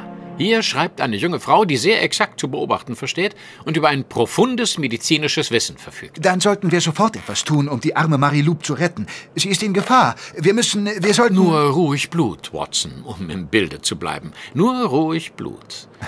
Ich glaube nicht, dass der jungen Dame unmittelbare Gefahr droht. Und es hat auch wenig Sinn, jetzt den edlen Ritter spielen und sich blindlings in den Kampf stürzen zu wollen. So. Wir haben es mit einem Täter zu tun, der mit großer Systematik und zum Teil mit sehr viel Aufwand vorgeht. Auch das Entführen von Leichen steht auf seinem Programm, jedenfalls wenn die Leichen von wissenschaftlichem Interesse sind. Und darüber hinaus würde ich meinen äh, Kopf darauf verwetten, dass die beiden Stockfechter am Hafen genau hinter eben diesem her waren. Ach was? Offenbar war er zur unfreiwilligen Teilnahme an einem abscheulichen medizinischen Versuch ausersehen, was ich meiner Gesundheit zuliebe gerade noch verhindern konnte. Antrenewski ließ Dr. Barthorpe ermorden, um an die Leiche von Peter Griffith zu gelangen, von deren Untersuchung er sich sicherlich interessante Erkenntnisse versprach. Jedenfalls passt das ins Bild. Antrenewski stammt aus Mexiko oder hat jedenfalls viele Jahre in diesem Land gelebt und sich dort mit einer sehr exotischen Krankheit infiziert, die er heilen möchte. Wir wissen jedoch noch nicht, wo Patientin und Arzt, sprich Marie Loup und ihr Vater, zu finden sind. Ja. Der treue Werwolf, der uns hätte dorthin führen können, Mariloups Bruder, liegt auf Dr. Galstays Tisch. Klar ist aber, dass ein Forscher mit seinen vielfältigen Sammlungen und Geräten, so sehr er sich auch bemüht, nicht völlig unbemerkt nach England einreisen kann. Er kommt mit unzähligen Kisten und Behältnissen. Ich werde mich also weiter ein wenig nach Gästen aus Mexiko mit großem Gepäck umsehen. Wie gefährlich das ist, durfte ich am eigenen Leibe bereits verspüren. Und das Ammoniak, das er braucht, um sich am Leben zu erhalten und seine Leichensammlung zu kühlen, muss er irgendwo kaufen. Bei der Suche nach dem Lieferanten soll mir mein Bruder helfen. Schließlich ist es sein Beruf, wie meiner, Fakten aller Art zusammenzutragen und Schlüsse daraus zu ziehen, wenngleich er das in einem größeren Stil tut als ich. Es dauerte nicht mehr als etwa 36 Stunden, bis Holmes triumphierend neue Erkenntnisse mitteilen konnte. Endlich, Watson, wissen wir mehr. Im vergangenen Jahr, am 29. Mai, kam die Elvira aus Amerika via Cork in Bristol an. An Bord Dr. Antrenewski sowie eine tief verschleierte Frau. Die Agentur Spencer and Milewski vermittelte Dr. Antrenewski eine Unterkunft und alles weitere, was er brauchte. Wer mag das sein? Das kann nur der Telegrammbote sein, Watson. Die quietschenden Bremsen seines Velocipeds, als er vor dem Haus anhielt, waren nicht zu überhören. da ist er schon. Sekunden später überreichte ein Bote ein Telegramm, nahm sein Trinkgeld entgegen und verschwand wieder. Von Dr. Gulsdale. Der Wolfsmann weise Anzeichen von Muskellähmung auf. Darum sei er auch ertrunken, nachdem er ins Wasser gefallen war. Daraufhin habe er den Wolfsmann noch einmal gründlich untersucht und eine Einstichstelle im Rücken entdeckt. Möglicherweise sei ein Pfeilgift wie Tubucurare verwendet worden. Da schau her. Tubucurare. Tja, Watson. Die Indios am Amazonas verwenden dieses Mondsamengewächs. Es wirkt nur bei Aufnahme über das Blut tödlich, nicht bei der Verdauung. Sonst könnten die Indios ihre Beute nicht essen. Mit dem Wort Tubo bezeichnen sie übrigens die Bambusbehälter, in denen sie ihr Pfeilgift aufbewahren. Ach was. Auf jeden Fall scheint der Kollege Galesdale ein Mann von außerordentlichen Fähigkeiten zu sein. Er muss ja Wolferts gesamte Behaarung buchstäblich durchkämmt haben, um die Pfeilwunde zu finden. Lestrade weiß sicherlich nicht, was die Metropolitan Police an diesem Arzt hat. Aber gut, lassen wir das vorerst einmal beiseite. Wo waren wir stehen geblieben? Bei Spencer and Milewski. Richtig. Spencer und Milewski wollten zunächst die Adresse ihres Klienten nicht herausgeben. Ich musste zu drastischen Mitteln greifen, um sie herauszubekommen. Drastische Mittel? Nun, ich ging fort und brachte den kleinen Arthur mit. Arthur Stanley Jefferson, ein Mitglied der Baker Street Irregulars. Er ist erst sieben Jahre alt. Seine Eltern sind am Theater und haben ihr Talent auf den Jungen vererbt. Also, als erstes schminkte ich den kleinen Arthur zweckdienlich, wobei ich eine ganze Menge Rosshaar verbrauchte. Ich schuf, ohne mich jetzt allzu sehr loben zu wollen, ein perfektes kleines Ebenbild ihres Wolfsmenschen, zog ihm eine Kapuze über den Kopf, brachte ihn ins Büro von Spencer und Melewski und erklärte, Dr. Antrenewski sei ein Spezialist und nur er könne meinem kleinen Sohn helfen. Nein. Die Sekretärin schrieb mir totenblass mit zitternden Händen die Adresse auf und wir konnten uns verabschieden. Dr. Antrenewski hat Wenderfield Fairhouse gemietet. Das viele Ammoniak, das er benötigt, bezieht er von der reichsdeutschen Firma H&E Albert, die vor allem das sogenannte Thomasmehl, aber auch andere Chemikalien und Düngemittel herstellt und seit 1894 unter dem Namen Chemical Works Late H&A Albert in London ansässig ist. Dann müssen wir ja nur noch nach Wenderfield Fairhouse fahren, um Miss Mariloup zu retten. Und was sollen wir ihm sagen? Buenos dias, Senor Doctor. Wir sind Sherlock Holmes und Dr. Watson und interessieren uns für Ihre sinistren Machenschaften. Vielleicht sollten wir doch zu einer Kriegslist greifen. Wieder Arthur? Einen verkleideten und geschminkten kleinen Jungen würde er als Arzt sicher sofort durchschauen. Aber im Prinzip ist die Idee nicht schlecht. Ich denke, wir brauchen, wie soll ich sagen, externe Hilfe. Machen Sie sich auf etwas gefasst. Können Sie morgen um 1 Uhr in der Frühe aufstehen? Aus meiner gebrummelten Antwort schloss Holmes wohl, dass ich es konnte und weihte mich in seinen Plan ein.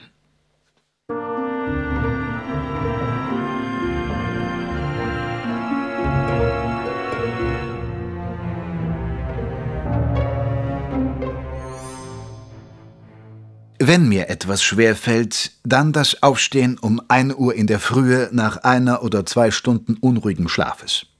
Meine Militärdienstzeit, als mir so etwas nicht das geringste ausmachte, lag wohl doch schon zu lange zurück.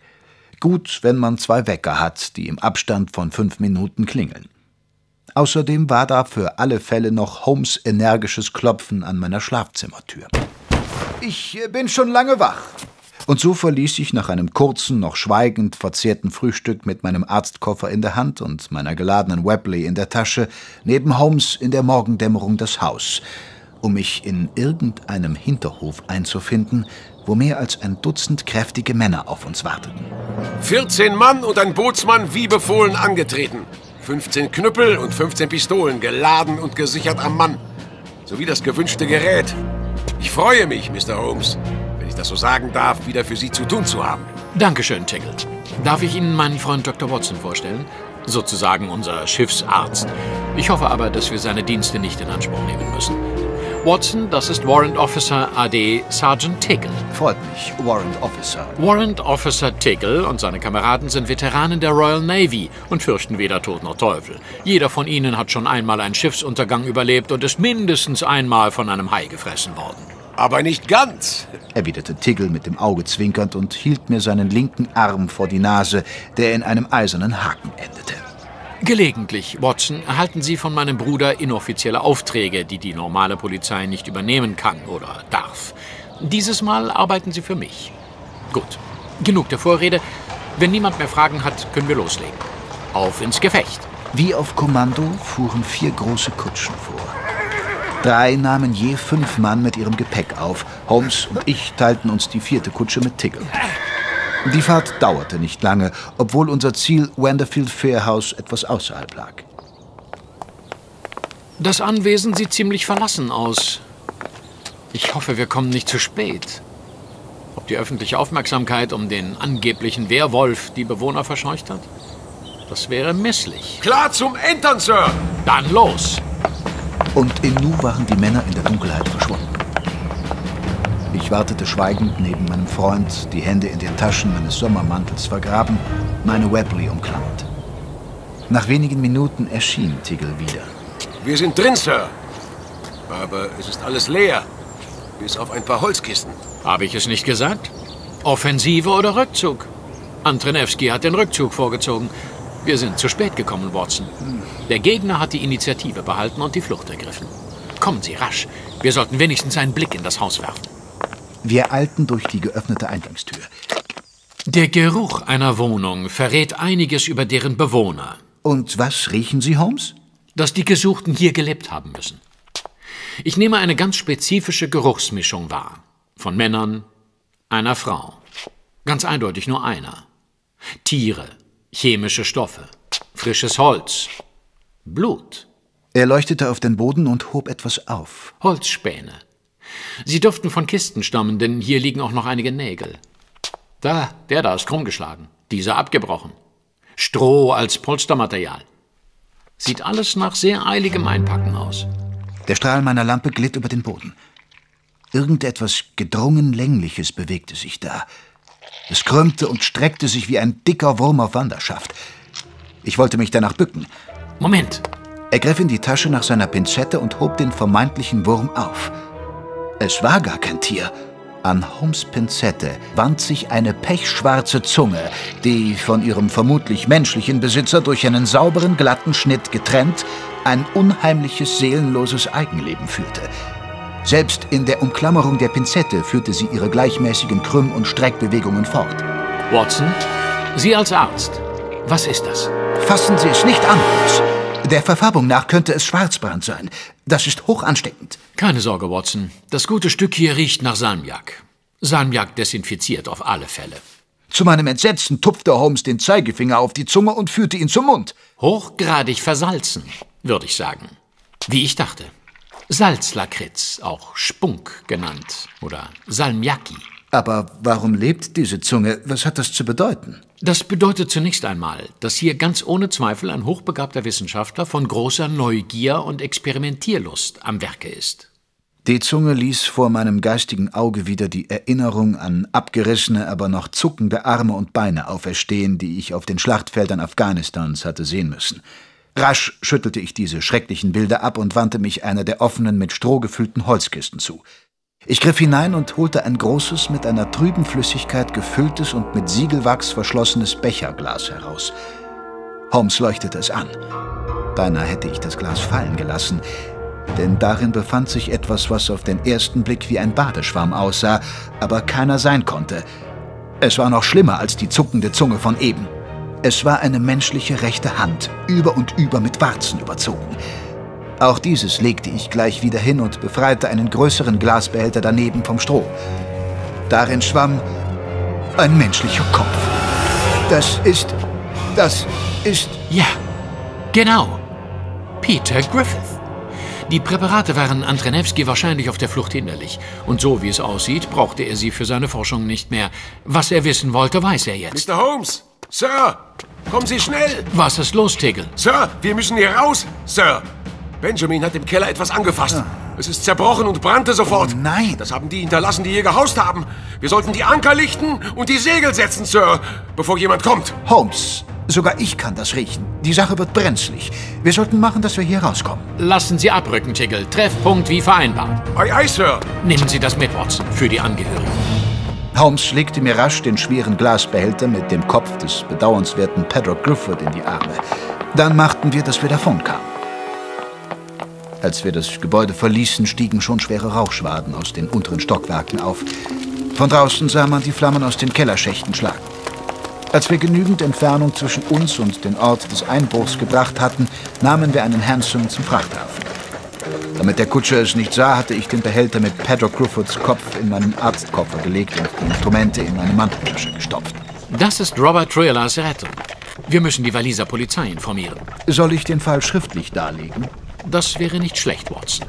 Wir haben nämlich keine Zeit, noch einmal nach Wales zu reisen. Sie schreiben den Bericht und mein Bruder wird dafür sorgen, dass er mitsamt dem Kopf der walisischen Polizei überstellt wird. Wir sind übrigens da. Holmes meinte die Hafenkneipe, die sich zu Ehren von Sir Francis Drake Golden Hind nannte. Hier trafen wir uns alle wieder. Ich fühlte mich reichlich fehl am Platze, aber Tiggles Mannen benahmen sich mir gegenüber genauso respektvoll wie zu Holmes. Mit einem Glas Rum wurde trotz des Misserfolgs auf die Nacht- und Nebelaktion angestoßen.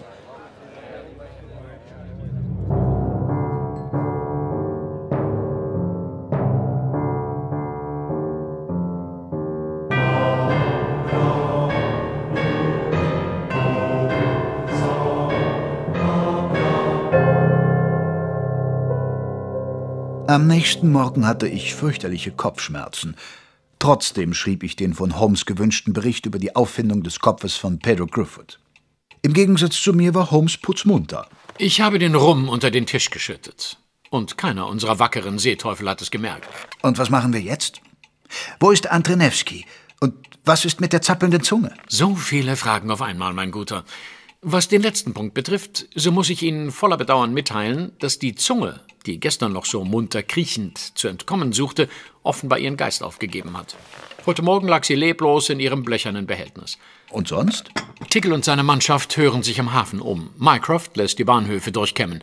So einen Tross, wie Antrenewski ihn offensichtlich besitzt, kann man nicht einfach in den Koffer packen und wegtragen. Dann bleibt uns vorerst nur das Abwarten, nicht wahr? Und das Tee trinken, natürlich. Wir tranken nicht nur eine Kanne unseres Lebenselixiers, sondern insgesamt drei. Allmählich rückte die Zeit des Mittagessens näher und wir hatten noch immer keine Nachricht, weder von Mycroft noch von Tiggle. Schließlich, wir hatten Mrs. Hudson schon um eine Platte Sandwiches gebeten, traf das erlösende Telegramm ein.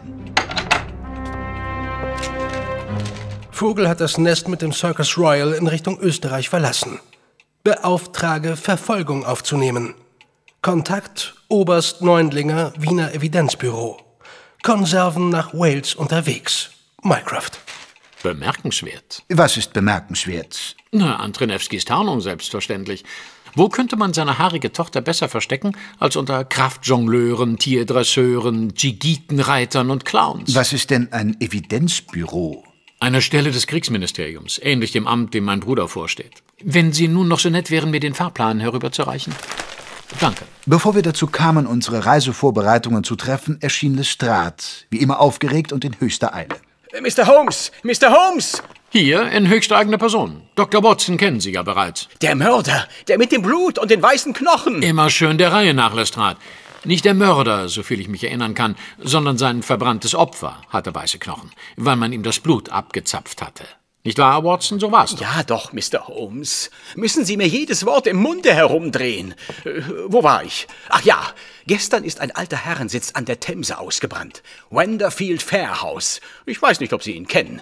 Aber Sie werden nicht darauf kommen, was wir in einem Kellerraum gefunden haben. Doch nicht etwa den Mörder? Äh, nein, den nicht, aber weitere Opfer. Zwölf Stück an der Zahl. Einige verbrannt, andere weniger. Die, die unten lagen, waren weniger verbrannt, meine ich. Aber die ganz oben hatten weiße Knochen, wie dieser Sewerwärter. Dr. Gelsdale hat sie schon untersucht. Ist das nicht fantastisch? Überaus, Lestrade, überaus. Und wieso haben Sie nun den Mörder? Na, weil wir den Mieter von Wenderfield Fairhouse ausgeforscht haben. Einen gewissen Andrewski oder so ähnlich. Einen Arzt aus Russland. Jetzt müssen wir ihn nur noch finden und dann haben wir ihn. Warum kichern Sie so? Später, Lestrade, später. Können wir die Toten aus Wenderfield Fairhouse ansehen? Dr. Gelsdale bittet Sie sogar darum. Ich soll sie gleich hinbringen. Wenig später betraten wir erneut die bis unter die Decke gefließten Räume. Der Geruch nach Kabul, Naphthalin und kaltem Kalbfleisch hatte sich nicht verändert. Sehen Sie, meine Herren, derselbe Befund wie bei dem Surwärter. Wir haben keinen Tropfen Blut mehr in Ihren Körpern gefunden. Holmes stand, die Lupe in der Hand, bereits über eine lediglich angesenkte Tote gebeugt. Sorgsam, Zentimeter für Zentimeter, untersuchte Holmes die Beuge des intakten Armes. Ganz eindeutig. Eine Punktion der mittleren Ellbeugenvene. Vena mediana cubiti, der ideale Ort zur Blutentnahme. Soweit das noch feststellbar ist, ist das bei allen der Fall. Aber wieso haben sich die Opfer das gefallen lassen? Wieso leisteten sie keinen Widerstand? Ich meine, wer lässt sich schon freiwillig sämtlichen Blutes berauben? Diese Frage haben wir uns natürlich auch gestellt, Dr. Watson. Sämtliche Opfer wurden mit einem harten, stumpfen Gegenstand aus Holz, äh, wir haben kleine Splitter gefunden, auf die Stirn geschlagen. Nicht so, dass der Schlag tödlich gewirkt hätte, das nicht. Sie wurden lediglich betäubt und mussten die Qual bis zum bitteren Ende durchstehen. Ihr Herz pumpte weiter das Blut aus ihren Wunden bis zum Exitus. Widerlich. Wirklich widerlich. Wer tut so etwas? Jemand brauchte offenbar ihr Blut. Nichts anderes. Dr. Gelsdale, was hatten die Toten denn im Magen? Das ist eine interessante Frage, Herr Kollege. Alle hatten sich schon tagelang vor ihrem Tod von wässrigen Gemüsesuppen ernährt. Linsen, Erbsen, Graupen, Möhren. Wie? In unzureichender Menge. Das, was in armen Küchen und armen Spitälern gemeinhin so ausgegeben wird. Dann ist doch völlig klar, wieso diese Menschen sich freiwillig Blut abnehmen ließen. Da spricht vor der armen Küche ein vornehmer fremder Doktor, jemanden, der nach der kostenlosen Mahlzeit hungriger ist als zuvor, freundlich an und bietet, sagen wir, ein ganzes Pfund für einen halben Liter Blut. Für die Wissenschaft, erklärt er. Und weil die hungrige Person von da an nur noch an das Geld denkt und an das Essen oder den Schnaps, den man da verkaufen kann, geht oder fährt sie brav mit ihm und lässt sich ebenso brav eine Nadel in den Arm stecken. Das Blut fließt in Strömen. Lestrade? Mr. Holmes? Der Polizist erschrak regelrecht, als Holmes ihn ansprach. Sie haben es gehört. Äh, was gehört? Armenküchen. Suchen Sie die einschlägigen Etablissements der Stadt ab. Die Angehörigen dieser Toten hier haben ein Recht darauf zu erfahren, was aus ihren Lieben geworden ist. Ich fange sofort damit an. Und damit enteilte er, erleichtert, einen Vorwand gefunden zu haben, die Leichenhalle zu verlassen. Holmes zog seine Taschenuhr hervor. Doktor, unsere Zeit ist wie immer knapp bemessen. Wir danken für die reichhaltigen Informationen und werden Sie auf dem Laufenden halten. Watson, auf nach Wien. Wir verabschiedeten uns von Dr. Gelsdale. Gute Reise, rief er uns noch hinterher.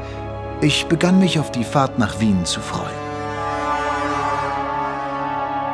Wien empfing uns mit der gelassenen Würde und Herzlichkeit einer großen, eleganten Metropole. Unser Hotel war ein beeindruckender Bau an einem großen Platz mit dem unvermeidlichen Denkmal davor.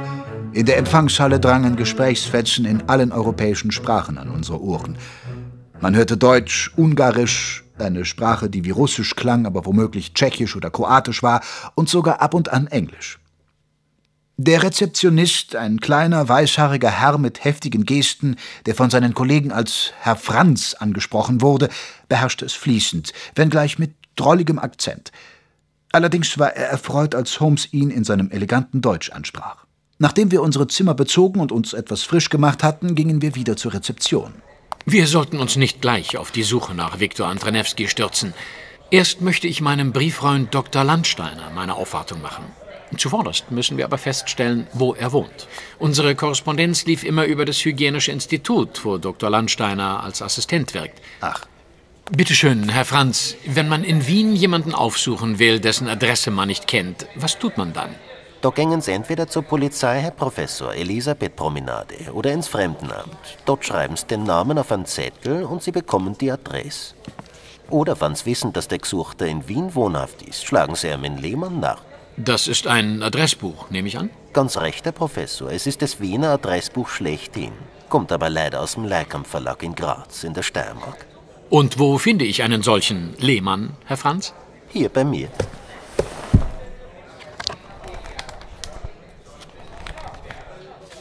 Landbrunner, Landgren, Landmann, Landner, Landowski, Landsmann, Landson, Landsprott, Landsteiner, Karl, Dr. Med, das ist er. Ja. Lazarettengasse, da wohnt er.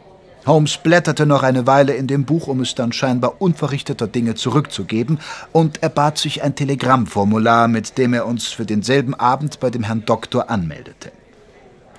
Dann bestellten wir in dem prachtvollen Speisesaal erst einmal ein opulentes Abendessen, um gewappnet unserem Auftrag in Wien ins Auge sehen zu können. Und schon war es Zeit aufzubrechen. Eine Kutsche, die hier Fiaker heißt, brachte uns in gemächlichem Tempo zum gewünschten Haus. Hier wurde eingebrochen.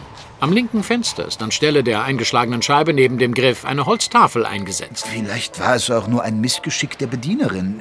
Wie sagt man hier, der Lurchkatz. Guter Watson. Immer nur das Beste annehmend. So bin ich eben, Holmes. Ist doch nicht schlimm, oder? Schließlich sind Sie der Detektiv und müssen misstrauisch sein. Hören Sie, jemand spielt Klavier. Die Klaviermusik brach ab, als Holmes den Klingelzug betätigte. Ein hünenhafter Mann, etwa 30 Jahre alt, mit durchdringenden Augen, unter buschigen Brauen und einem Schnauzbart mit herabhängenden Enden, öffnete uns. Der Hausherr selbst. Herzlich willkommen, meine Herren. Landsteiner heiße ich. Treten Sie ein. Sein Händedruck war von einer schmerzhaften Festigkeit, fast wie der von Tiggle. Landsteiner führte uns in einen Salon, in dem ein riesiger Bechsteinflügel mit geöffnetem Deckel stand. Danke, Herr Professor. Wurde Ihnen etwas gestohlen? Na, nicht der Rede wert. Sie haben meine Papiere durchgewühlt, aber die kann eh keiner lesen. Meine Bojana hat sie rechtzeitig gestört. Da sind's ausgewichst, abgehauen. Aber das soll den gemütlichen Abend nicht stören. So, die Geigen geben's mir, bitteschön. Vorsichtig legte er sie auf den Flügel. Kaum hatten wir uns zu Tisch begeben, drückte Landsteiner eine elektrische Klingel, die aus dem Leuchter über dem Tisch hing. Daraufhin erschien eine kleine, noch junge, aber durch ihre Umfänglichkeit sehr mütterlich wirkende Frau in schwarzem Kleid, mit weißer Schürze und einem Krankenschwesterhäubchen, knickste und fragte etwas, das mit dem Wort Moschem begann. Bojana kommt aus Böhmen. Sie war's, die die Eintippler, äh, die Einbrecher verjagt hat. Lassen Sie sich's schmecken. Ich befand mich nach meiner zweiten Mahlzeit innerhalb von zweieinhalb Stunden in einem geradezu komatösen Zustand. So war es mir sehr recht, als Landsteiner zum Flügel hinüberging und Holmes den Violinkasten reichte, während Bojana abtrug. Was halten's vom Violinkonzert Nummer 3, D-Moll, von Max Bruch? Holmes nickte. Ein schönes Werk. Dann stimmte er die geliehene Violine und spielte das Stück virtuos vom Blatt. Landsteiner begleitete ihn. Er brauchte keine Noten, sondern improvisierte die Begleitung, aber vollkommen unaufdringlich. Es war so wundervoll, dass ich keine Sekunde geneigt war, meinem vollen Magen nachzugeben und die Augen zu schließen. Bravo, entfuhr es mir, als die beiden fertig waren. Das Lob gebührt Sherlock Holmes, Kollege. Ich bin ja nur ein kleiner Klaviertippler, der ein bisschen akkompaniert hat. Ja, schön war's. Aber bevor wir uns jetzt noch eine schöne Zigarre gönnen, möchte ich Sie noch um etwas bitten, Kollege. Er trat zum Bücherschrank, öffnete die Tür und räumte ein ganzes Brett mit medizinischer Literatur leer. Dahinter kam eine Reihe Zeitschriften zum Vorschein, an deren bläulichen Umschlägen ich das Strand Magazine erkannte. Mein geheimes Laster, Kollege. Braucht ja niemand zu wissen. Skandal in Böhmen. Wenn Sie es mir signieren täten? Hier haben Sie eine Feder. Dr. Landsteiner zum Dank für ein vortreffliches Mahl und ein meisterhaftes Konzert, schrieb ich, wegen meiner unsicheren deutschen Rechtschreibung vorsichtshalber auf Englisch. Zum Schluss setzte ich noch meine Unterschrift und das Datum hinzu. Der Rest des Abends bestand aus Fachsimpelei über Blut und Seeren, die meistenteils von Sherlock Holmes und dem Doktor bestritten wurde. Ich hielt mich im Bewusstsein, nur geringe Kenntnisse auf diesem Gebiet zu besitzen, zurück. Wie oft nahm die Polizei schon Menschen mit blutbefleckter Kleidung in Gewahrsam, konnte sich aber nicht sicher sein, ob sie in der Tat einen Mörder vor sich hatte. Das Blut konnte Tierblut sein, von dem Betreffenden selber stammen oder von einer anderen Person. Immer muss umständlich durch Indizien bewiesen werden, ob und welche Schuld hier vorliegt. Ein wissenschaftlicher Beweis wäre ein Segen. Sehen's, meine Herren, das denke ich auch. Aber von der Kriminologie einmal abgesehen, wenn man Kranken damit helfen kann, das wäre auch nicht schlecht. Eines Tages wird es dem Arzt nämlich möglich sein, dem Patienten zu sagen, zeig mir dein Blut und ich sag dir, was dir fehlt. Ich will nicht zu viel versprechen, aber dann wird es möglich sein, das menschliche Blut zu kartografieren, wie man den Ozean kartografiert oder die Wüste oder den Himalaya. Und man wird sagen können, hier ist eine Abweichung von der Norm, die den Patienten krank macht. Der Tag ist nicht mehr allzu fern, da bin ich ganz optimistisch. Es ist ein relativ einfaches serologisches Problem. Nur lösen muss man's halt noch. Ich fürchte, Professor, es gibt jemanden auf der Welt, der dieses Problem schon weitgehend gelöst hat. Aber er ist ein Verbrecher. Ich könnte mir denken, dass er auch hinter dem Einbruch in Ihr Arbeitszimmer steckt. Das ist der Lauf der Wissenschaft, Mr. Holmes. Der eine forscht jahrzehntelang und bringt's zu nichts, und ein anderer braucht nur seine Nase in die Materie zu stecken und findet alles auf Anhieb wie von selbst heraus. Da kann man nichts machen. Aber erzählen's doch, wer ist der Glückliche? Holmes skizzierte ihm unter dem Siegel der Verschwiegenheit in groben Zügen unseren aktuellen Fall und erwähnte auch die Methoden, mit denen Antelnewski, dessen Namen er allerdings nicht nannte, seinen Sohn und seine Tochter von der Hypertrichose zu heilen versuchte. An Ihrer Theorie ist etwas dran, Mr. Holmes. Da scheint mir ein wahrhaftig Verrückter am Werk zu sein. Vielleicht waren die Einbrecher tatsächlich hinter meinen Forschungen her. Aber wie gesagt, lesen kann nur ich meine Schrift. Und das auch nicht einmal immer. Aber ich werde mich umhören. Wenn ich etwas erfahre, telegrafiere ich Ihnen. Nehmen Sie sich in Acht. Die Sache scheint mir gefährlich. Na, Der Kollege Watson hat ja sicherlich seinen Webley dabei. Ich nickte, musste aber im Stillen daran denken, dass die Waffe wohlverschlossen im Koffer im Hotel Rottensteiner lag. Es war spät in der Nacht, oder besser früh am Morgen, als wir Landsteiners von Zigarren und Pfeifenrauch geschwängerte Räume nach einem herzlichen Abschied verließen.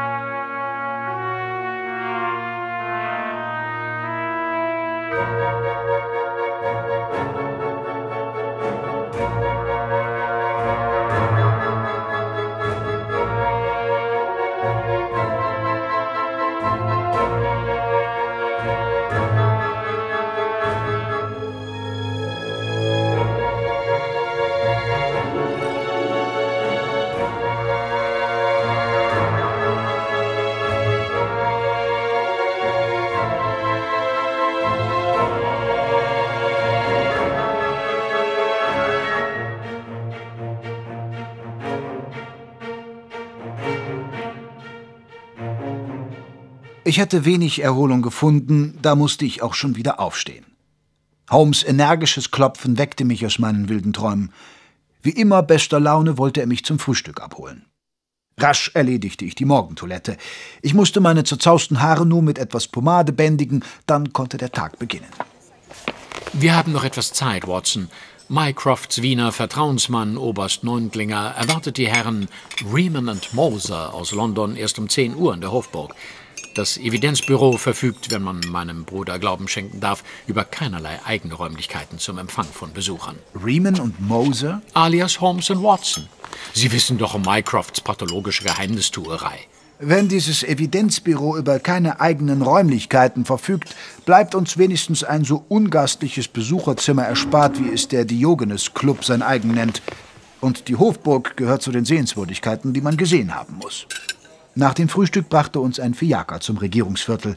Unser Ziel, das Hofkriegsratsgebäude, lag am Hof, in unmittelbarer Nähe der Hofburg und aller wichtigen Ministerien, nur unweit vom Stephansdom. Wir waren erstaunt, dass wir einfach in den Hof eines solch wichtigen Gebäudes hineinmarschieren konnten.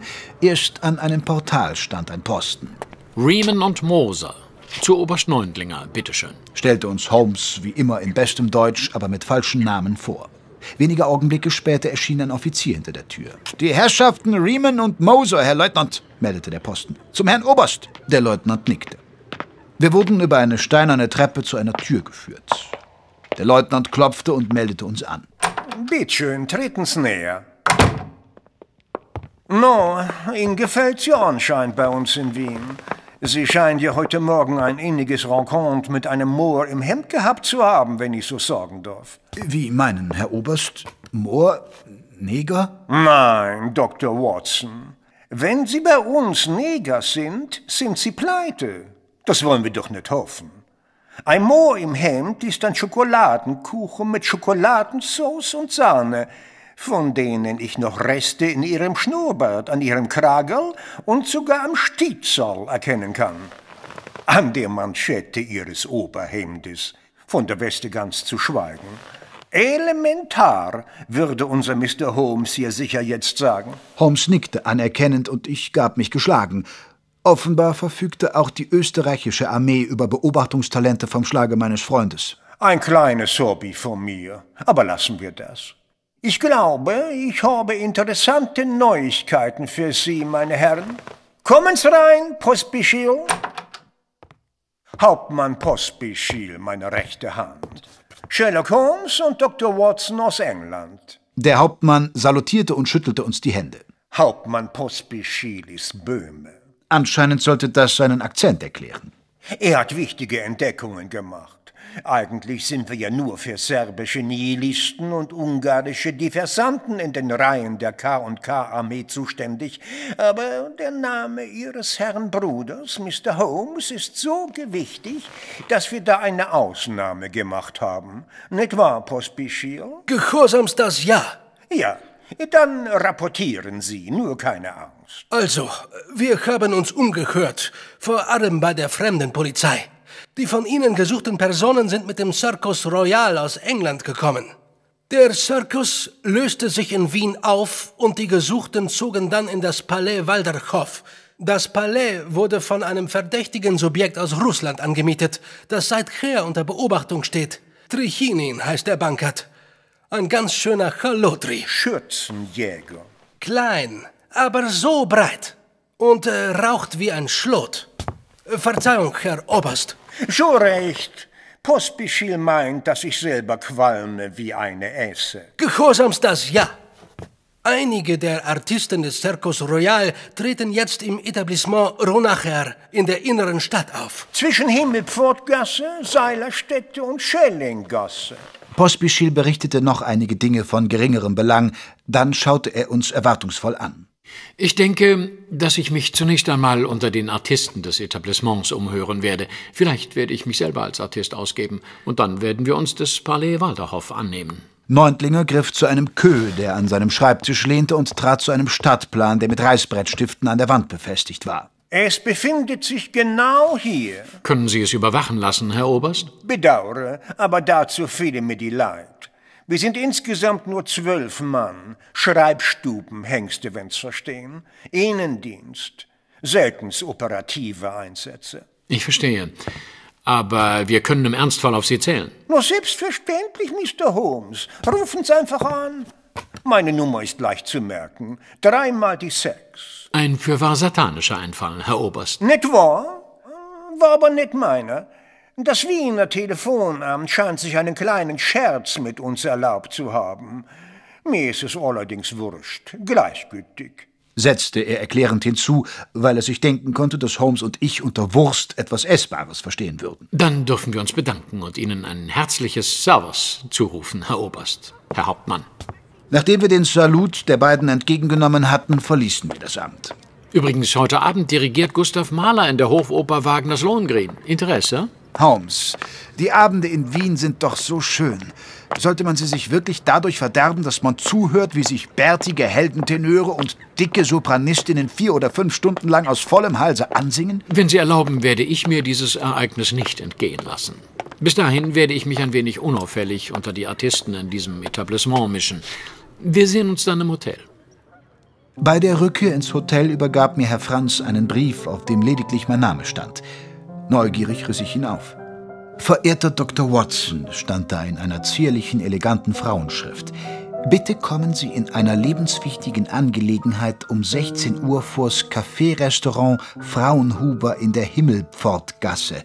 Sagen Sie aber um Himmels Willen kein Wort zu Sherlock Holmes. Irene A. Ich dankte und ging aufs Zimmer.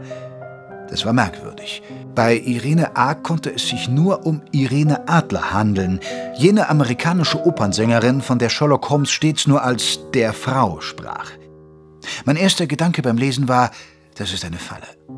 Dann aber beruhigte ich mich mit dem Gedanken, dass Irene Adler mit dem vorliegenden Fall absolut nichts zu tun haben konnte. Ich schrieb auf eine leere Seite meines Notizbuches die kurze Notiz ab 16 Uhr auf einen Einspänner im Café Frauenhuber, Himmelpfortgasse, W. Ich riss das Blatt heraus, steckte es in einen Umschlag mit dem Aufdruck unseres Hotels, schrieb noch Holmes Namen darauf und übergab ihn Herrn Franz zu treuen Händen. Dann machte ich mich wieder auf den Weg durch das sommerliche Wien. Draußen erblickte ich eine geschlossene Kutsche. Würde Holmes darin sitzen und mich gleich tüchtig ausschimpfen, weil ich einfach ins Kaffeehaus entwichen war, oder Irene Adler, die aus mir noch unbekannten Gründen nicht persönlich ins Frauenhuber hatte kommen wollen oder können. Letzteres schien der Fall zu sein, denn als ich den Schlag öffnete, erblickte ich in der Kutsche eine verschleierte Dame. Irene? fragte ich. Da stieß mich eine grobe Hand von hinten in die Kutsche, die sofort ratternd losfuhr. Ich fiel vor der verschleierten Dame auf die Knie, doch ehe ich mich wieder aufrappeln konnte, drückte sie mir ein feuchtes Tuch aufs Gesicht. Ich erkannte eindeutig den Geruch von Chloroform.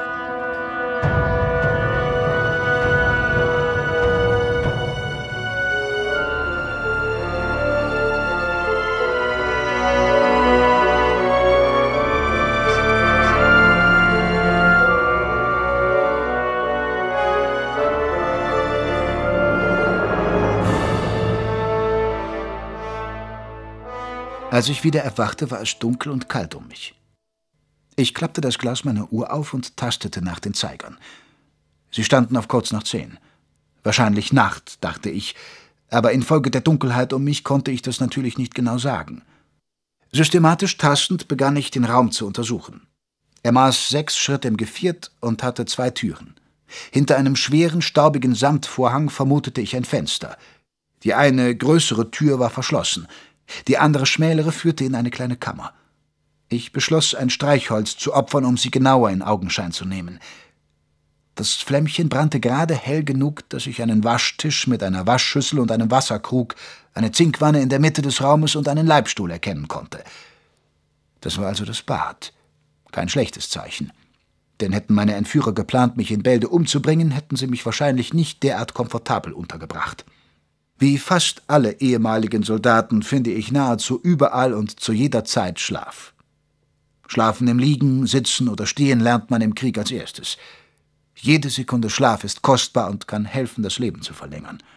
Ein paar Minuten lauschte ich noch der Stille, die mich umfing und die ich nicht als bedrohlich, sondern eher als wohltuend empfand. Dann dachte ich, dass Holmes mich ganz bestimmt finden würde. Mit diesen Gedanken muss ich eingeschlafen sein. Ein Geräusch an der Tür weckte mich. Jemand drehte den Schlüssel herum. Ich war sofort hellwach. Ein unrasierter Mann in europäischer Kleidung mit einem Schnauzbart und einer qualmenden Zigarette im Mundwinkel trat ins Zimmer. Der Besucher wurde von einem vierschrötigen Mann begleitet, der wie ein Kosak gekleidet war und ebenfalls einen Schnauzbart trug. Der Anblick dieses Mannes war sehr vielversprechend, denn er hielt ein Tablett mit allem, was zu einem guten Frühstück gehörte, in den Händen. Ich, Trechinin, Alexei Nikolajewitsch. Willkommen hier. Da ist Frühstück. Guten Appetit. Was? begann ich, doch die Tür fiel bereits wieder zu und der Schlüssel drehte sich im Schloss. Gegen neun Uhr, ich war schon eine Weile fertig mit dem Essen, erschien Trichinin wieder. Ah, du fertig. Mitkommen. Ich versuchte ihm auf Deutsch zu antworten. Wo ich bin hier. Warum ich bin Gefangener. Ich bin britischer Staatsbürger. Ich verlange. Mitkommen, wiederholte Trichinin nur. Wenn das die Männer waren, die Holmes am Hafen überfallen hatten, schien es mir nicht angeraten, sofort einen Raufhandel mit ihnen zu beginnen. Und da der Klügere ja bekanntlich nachgibt, gehorchte ich und folgte dem Russen. Wir durchschritten einen langen Gang und kamen dabei an etlichen Türen vorbei. Die Wände des Ganges zierten Gobelins, Gemälde von reizenden Damen mit Allonge-Perücken und tiefen Dekolletés und von grimmigen, bärtigen Männern in Harnischen mit Helmen auf dem Kopf und Schwertern oder Streitäxten in Fäusten, die in eisernen Handschuhen steckten. Trichinin öffnete einen Flügel und befahl mir mit einem seitlichen Nicken des Kopfes hineinzugehen. Ich betrat einen hell erleuchteten Bibliotheksraum. In der Mitte des Raumes stand ein Wesen, das dem Werwolf glich, der mich in der Baker Street heimgesucht und den ich später auf dem Obduktionstisch von Dr. Gelsdale wiedergesehen hatte. Miss Mariloup, vermute ich, fragte ich höflich in meiner Muttersprache. Ganz recht, Dr. Watson. Herzlich willkommen und verzeihen Sie bitte alle Unannehmlichkeiten, die wir verursacht haben.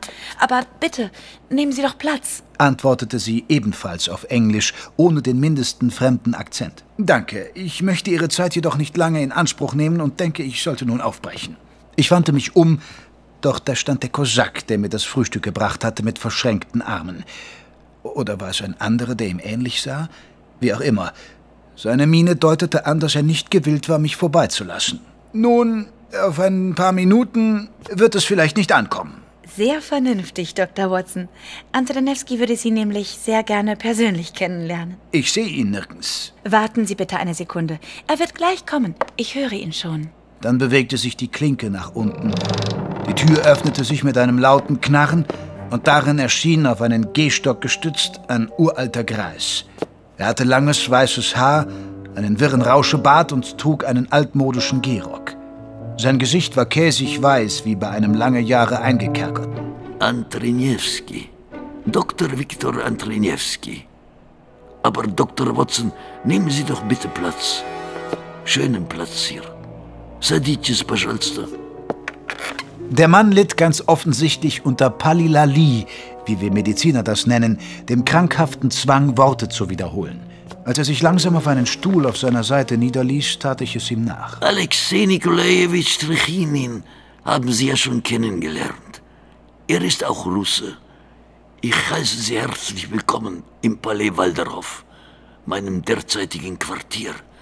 Ich möchte mich auch für das Ungemach entschuldigen, das wir Ihnen bereitet haben. Bitte, bitte, das macht fast gar nichts. Oh, so schön, dass Sie es sportlich sehen, Dr. Watson. Der Doktor wollte gerade gehen. Nun ja, das geht leider nicht, lieber Doktor. Geht gar nicht. Ich will Ihnen auch den Grund dafür mitteilen. Ich brauche Ihre kollegiale Hilfe.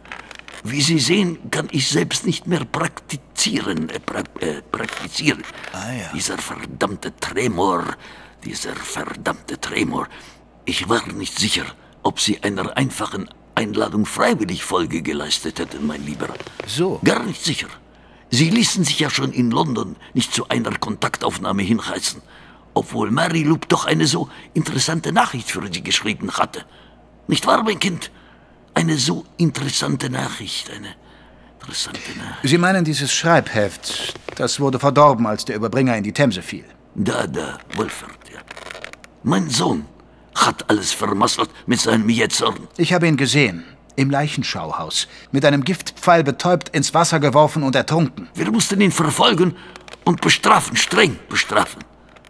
Nun aber muss ich Sie in Ihre neuen Aufgaben einweisen. Gründlich einweisen. Begleiten Sie mich doch bitte, bitteschön, in mein Laboratorium. Treten Sie ein in mein Reich. Sie werden begeistert sein. Mit einer Armbewegung forderte mich Trichinin auf, Andrenewski zu folgen. Ich ging um den Tisch herum an Mariloup vorbei und schritt hinter dem alten Mann mit seinem schleppenden Gang her. Sein sogenanntes Reich war ein hoher, dunkler Raum, der erst hell wurde, als Andrenewski elektrische Lampen einschaltete. Hier standen noch mehr Bücher an den Wänden. Auf einem riesigen Tisch an der Wand lagen weitere aufgeschlagene Bücher und dort standen auch Mikroskope, Bunsenbrenner, elektrische Geräte und andere medizinische Gerätschaften. Holla! entfuhr es mir, als ich vor einem übermannshohen Glasbehälter stehen blieb, in welchem in einer milchig trüben Flüssigkeit zwei menschliche Gestalten trieben. Fast wirkten sie, als ob noch Leben in den Gliedern wäre, was angesichts der Flüssigkeit aber unmöglich war. Ein lebender Mensch wäre längst ertrunken. Das soll die Krönung meines Lebens werden, Dr. Watson. Das hier wird das neue Heim meiner Seele werden.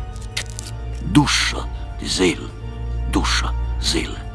Ich werde sozusagen neu geboren werden. Der andere dort drüben wird nicht mehr und nicht weniger als der neue Mensch werden.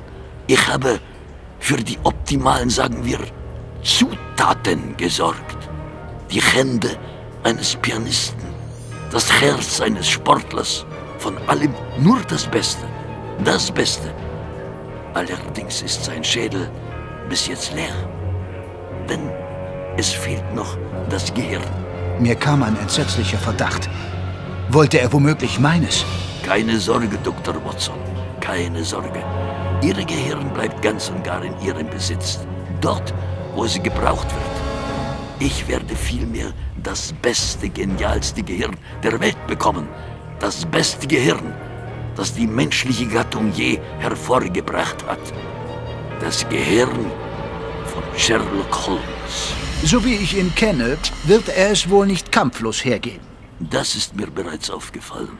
Aber so wie Sie zu mir gefunden haben, wird auch Sherlock Holmes zu mir finden. Cherchez la femme, wenn Sie verstehen. Ich nickte nur und überlegte, ob und wie ich Sherlock Holmes warnen konnte. Mir fiel jedoch auf die Schnelle nichts ein. Darf ich fragen, wozu ich eigentlich hier bin, wenn Sie schon mein Hirn verschmähen? Sie sind hier aus zweierlei Gründen. Zweierlei. Damit Sherlock Holmes auch wirklich hierher findet. Sie sind sozusagen meine Lockspeise. Und außerdem brauche ich Ihre kollegiale Hilfe. Sie müssen die Extirpation von Holmes Gehirn und die anschließende Implantation vornehmen. Ich? Niemals. Seien Sie doch nicht gleich so ablehnend. Ihnen wird die Chance geboten, an einer der wichtigsten Operationen der Medizingeschichte teilzunehmen. Ewiger Ruhm wird Ihnen sicher sein. Weltruhm. Ziehen Sie bitte einen Kittel an, einen Kittel an. Ich werde Sie jetzt in die Operationstechniken einführen. Opponieren Sie nicht, sonst werden Trichinin oder sein Kosak Sie ein wenig williger stimmen. Obwohl Trichinins zerstreutes, zustimmendes Nicken nicht sonderlich bedrohlich wirkte, machte es mir doch die Zwecklosigkeit jedes planlosen Widerstandes klar. Also gab ich nach und zog einen Kittel an. Trichinin half mir, ihn am Rücken zuzuknöpfen und anschließend auch beim Desinfizieren. Weil er selbst dabei nicht vom Rauchen seiner stinkenden Papyrosi lassen konnte, warf ich ihm einen missbilligenden Blick zu. Wir werden jetzt den Austausch der Gehirne üben. Erst einmal am toten Objekt. Am toten Objekt. Das Problem ist, wie Sie sich sicher denken können, nicht das Öffnen des Schädels und die Extraktion des Gehirns, sondern das Wiedereinsetzen in das Kranium und das Verbinden der Nerven. Der Nerven. Das muss ein paar Mal gemacht werden, bevor es funktioniert. Ich kann es nicht mehr. Mein Tremor, das wird Ihre Aufgabe sein. Ihre Aufgabe sein.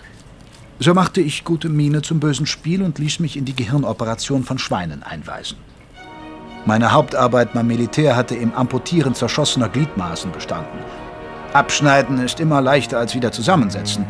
Das musste ich hier erneut erfahren und ich kam mir wie ein Anfänger vor, wie ein Metzgerlehrling. Oh, Sie lernen schnell, Dr. Watson. Ich fühlte mich am Ende meiner Kräfte. Machen wir für heute Schluss, mein Freund. Ich sehe, ich habe mit Ihnen keine schlechte Wahl getroffen. Noch ein, zwei Übungstage und wir können uns an das große Werk begeben. Werk begeben. Trichinin führte mich hinaus, nicht ohne einen langen kritischen Blick auf die Instrumente geworfen zu haben. Offenbar zählte er sie nach. Marilou brachte mir das Essen, sah mich traurig an, streckte unentschlossen die Hand aus, als wollte sie meine Wange berühren, ließ sie dann aber wieder sinken. Morgen, Seien Sie bereit. Wofür? Schlafen Sie gut, Dr. Watson. Aber verlassen Sie um keinen Preis der Welt diesen Raum. Ich kann sonst für nichts garantieren. Der Kosak, verstehen Sie? Für einen kurzen Moment hoffte ich, sie würde mich besuchen kommen. Doch sie legte den Zeigefinger an den Mund, um mir Schweigen zu gebieten, und ging hastig hinaus. Dann wurde der Schlüssel abgezogen und ihre Schritte entfernten sich. Als ich meine Bettdecke aufschlug, fand ich ein Skalpell darin. Nun gut, es war rostig, aber immerhin ein Skalpell. Als ich es in das Licht der Kerze hielt, bemerkte ich, dass jemand versucht hatte, es an einem Wetzstein zu schärfen.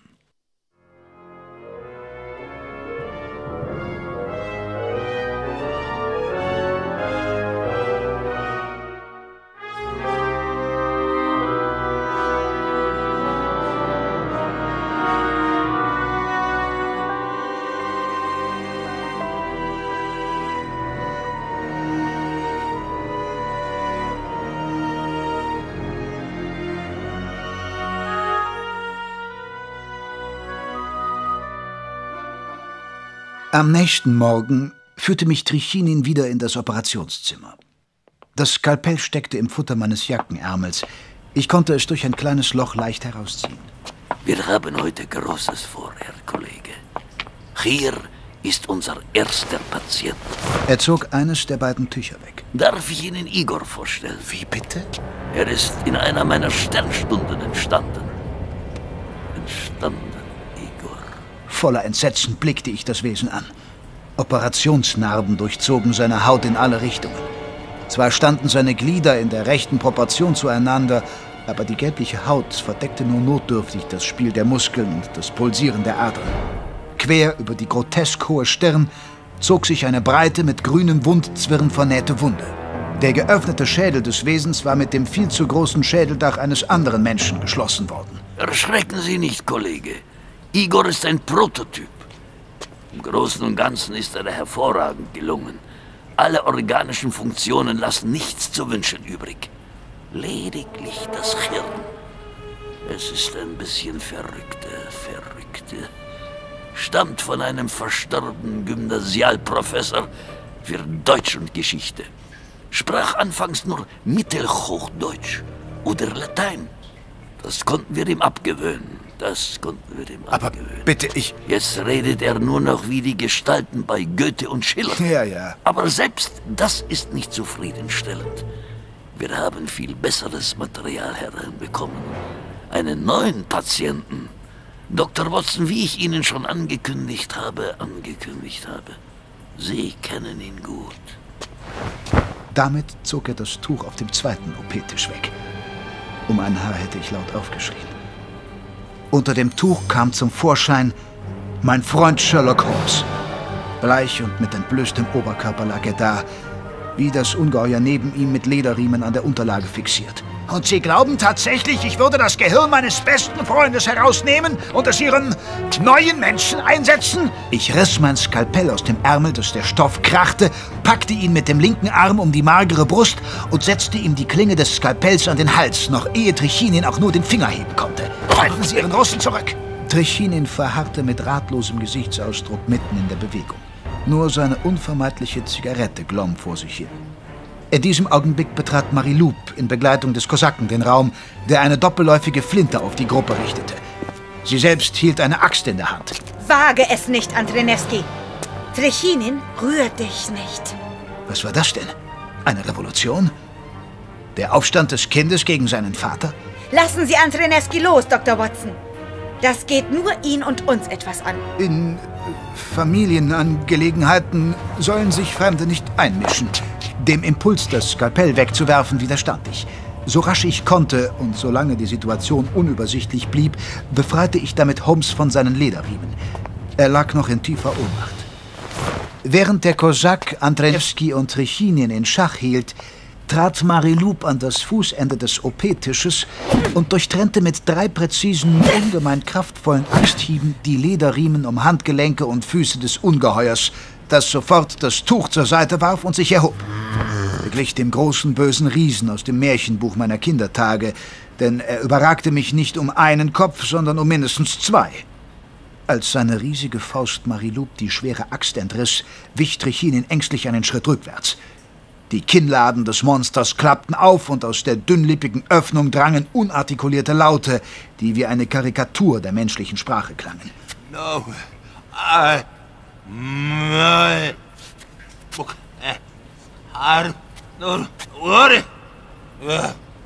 Du hast mir zu wenig Leben gegeben, Vater.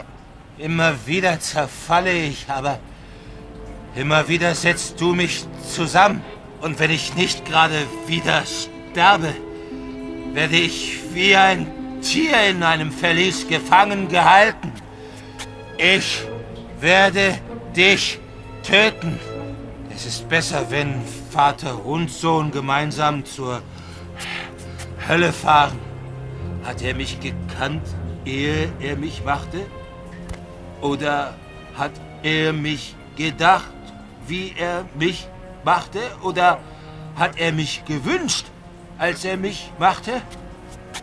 Wusste er, dass ich werden würde? Ich möchte ihn dafür strafen, dass er mich gemacht hat. Andrzejewski blieb ungerührt stehen. Seine bleichen, schmalen Lippen zu einem höhnischen Lächeln verzogen. Vater, gib mir mehr Leben, wie es einem wirklichen Menschen zukommt. Ich bin ein Mensch. Andrzejewski verharrte unbeweglich, mit kalten Augen interessiert der Szene folgend. Du schweigst. Du siehst zu, wie ich wieder in meine Einzelteile zerbreche. Und überlegst schon, was du beim nächsten Mal anders machen könntest? Damit ich ein paar Tage länger über die Runden komme? Ist das alles? Andrzejewski blieb die Antwort schuldig. Dann sollst du meinen Dank zu spüren bekommen, du stinkender Vater. Trichinin trat schützend vor seinen Herrn. Da traf ihn der Rücken der Axt am Kopf. Stumm kippte er zur Seite. Nun wird es uns alle töten, fuhr es mir durch den Kopf. Furchteinflößend war der Schatten der drohend erhobenen Axt. Andrenewski bewegte sich langsam rückwärts zur Tür, da sauste auch schon die Axt herab. Sie traf aber nie. Ihr Schwung und ihr Gewicht waren vielmehr so groß, dass sie den Arm des Ungeheuers aus dem Schultergelenk riss. Einen Schweif von grünlich schimmerndem Blut hinter sich herziehend, flog der Arm noch immer den Stiel umklammernd wie ein Komet quer durch den Raum. Zwischen den beiden Männern grub sich das Blatt zitternd tief ins Holz der Tür. Die Hand an dem ausgestreckten, vom Körper getrennten Arm hielt den Stiel noch einen Moment lang umklammert, dann erlahmte ihre Kraft. Der Griff lockerte sich und der Arm fiel zu Boden. Die leere Hand öffnete und schloss sich noch ein paar Mal im Krampf, dann lag sie still. Blut begann in wahren Sturzbächen aus Igors Nase zu schießen, aus den Augen und aus den Ohren. Die Naht auf der Stirn brach auf und begann zu bluten. Schon hörte ich deutlich das Knirschen der Gelenke, als sich die Beine in grotesken Krümmungen verformten. Nach Atem ringend krallte sich das Ungeheuer die ihm verbliebene Hand um den Hals, was aussah, als wolle es sich selbst erwürgen. Sich hin und her windend, stöhnend, schreiend und um sich schlagend, hauchte es seine Seele aus, so es eine besessen hatte. Während die übrigen, ich schließe mich nicht aus, noch vor grauen Starr umherstanden, ließ Mariloup sich nicht schrecken und zog, ehe jemand anderer daran dachte, die blutige Axt aus der Tür. Dr. Watson, wecken Sie Sherlock Holmes auf. Sie müssen von hier verschwinden. Das dürft ihr nicht. Ich befehle es. Drohend hob er seinen Stock, doch Mariloup erwiderte die Geste mit ihrer Axt. Nun machen Sie schon, Dr. Watson. Ich regle das hier. Ich ergriff ein Gefäß mit der Aufschrift Aqua d'Est und schüttete Holmes den Inhalt ins Gesicht. Wo, äh, Er schlug die Augen auf. Alles wird gut, alter Junge. Ich bin ja da. Stehen Sie auf. Ich wickelte ihn in das weiße Tuch, das ihn bedeckt hatte, und half ihm auf. Er schwankte so sehr, dass er sich am OP-Tisch festhalten musste. Gehen Sie, Dr. Watson. Wir werden das unter uns ausmachen. Ich, Nun gehen Sie schon. Seinen Arm um meine Schulter legend, begann ich, meinen Freund hinauszuschleppen. Was hinter mir geschah, wollte ich gar nicht mehr wissen. Ich versuchte mich an die Lage des Treppenhauses zu erinnern. Den langen Gang mit dem Degenbrecher, den ich eigentlich als Waffe hatte gebrauchen wollen, fand ich rasch wieder. Dann fielen die elektrischen Lampen aus, doch es wurde Gott sei Dank nicht völlig dunkel im Haus, sodass ich mich noch halbwegs orientieren konnte. Da ertönte hoch oben im Innern des Hauses eine Explosion. Jetzt musste ich bald den Ausgang finden, sonst würden wir an Rauchgasvergiftung sterben. Endlich hatte ich das Treppenhaus gefunden. Mehr fallend als gehend stolperten wir die Stufen hinab und mehr als einmal drohte mein Freund hinzustürzen. Wenn er liegen geblieben wäre, hätte ich ihn wohl kaum mehr rechtzeitig auf die Füße heben können. Doch allmählich kehrte sein Bewusstsein zurück und seine Schritte wurden kräftiger und exakter. Endlich standen wir vor dem Portal, es war abgeschlossen. So sehr ich mich auch bemühte, ich bekam die Tür nicht auf. Schon bekam ich kaum mehr Luft. Wie sollte ich in der Eile einen anderen Ausgang finden? Meine Kräfte waren nahezu aufgebraucht. Panik stieg in mir auf. Mit der Faust pochte ich gegen das mit Eisen beschlagene Holz. Plötzlich stand Mariloup neben uns. Mit der blutigen Axt in der einen und Holmes Inverness Cape mit dem Rest seiner Kleider in der anderen Hand. Einen Schlüssel hat nur Trichinin. Dann setzte sie das Blatt neben das gewaltige eiserne Schloss ins Holz und warf sich gegen den Stiel. Erst rührte sich das Tor nicht, doch diese bedauernswerte Frau verfügte über riesige Kräfte. Auf einmal splitterte das Holz. Sie griff mit bloßen Händen in die entstandene Lücke und zog zitternd vor Anstrengung das Tor einen Spalt weit auf. Draußen war heller Tag. Frische Luft strömte uns entgegen.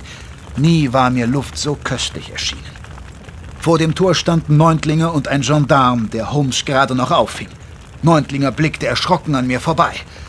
Er hatte Mariloup gesehen und rief so etwas wie Crucinesa. Alles, alles in Ordnung. Das ist, das ist... Die böse Maria Wolf. Ich muss zurück. Leben Sie wohl, Dr. Watson. Nicht! Bleiben Sie doch! Sie blickte mich noch einmal traurig an, dann war sie in dem Gebäude verschwunden. Ich schaute nach oben. Einige Scheiben waren zerborsten, Flammen schlugen aus dem Gebäude heraus. Eben ließ die Hitze eine weitere Fensterscheibe über unseren Köpfen zerspringen. Glas fiel herab. Ich packte Holmes Kleiderbündel und versuchte so schnell es ging, ihn von den Mauern wegzuzerren. Schneller greifen, Doktor! Hurtig! Auf der untersten Stufe der Vortreppe, direkt an der Straße, ließen wir uns nieder. Rufen Sie die Feuerpolizei, Matauschek. Suchen Sie einen Brandmelder oder ein Vierteltelefon. Brandmelder oder Vierteltelefon? Jawohl, Herr Oberst. Was war denn das? Dr. Andrzejewskis Tochter. Sie leidet unter krankhafter Behaarung. Sonst ist sie sehr intelligent und gebildet. Sie hat Holmes und mich befreit. Aber wie kommen Sie so schnell hierher? No, Mr. Holmes wurde in der Hofoper während des Lohengrin aus einer Loge entführt.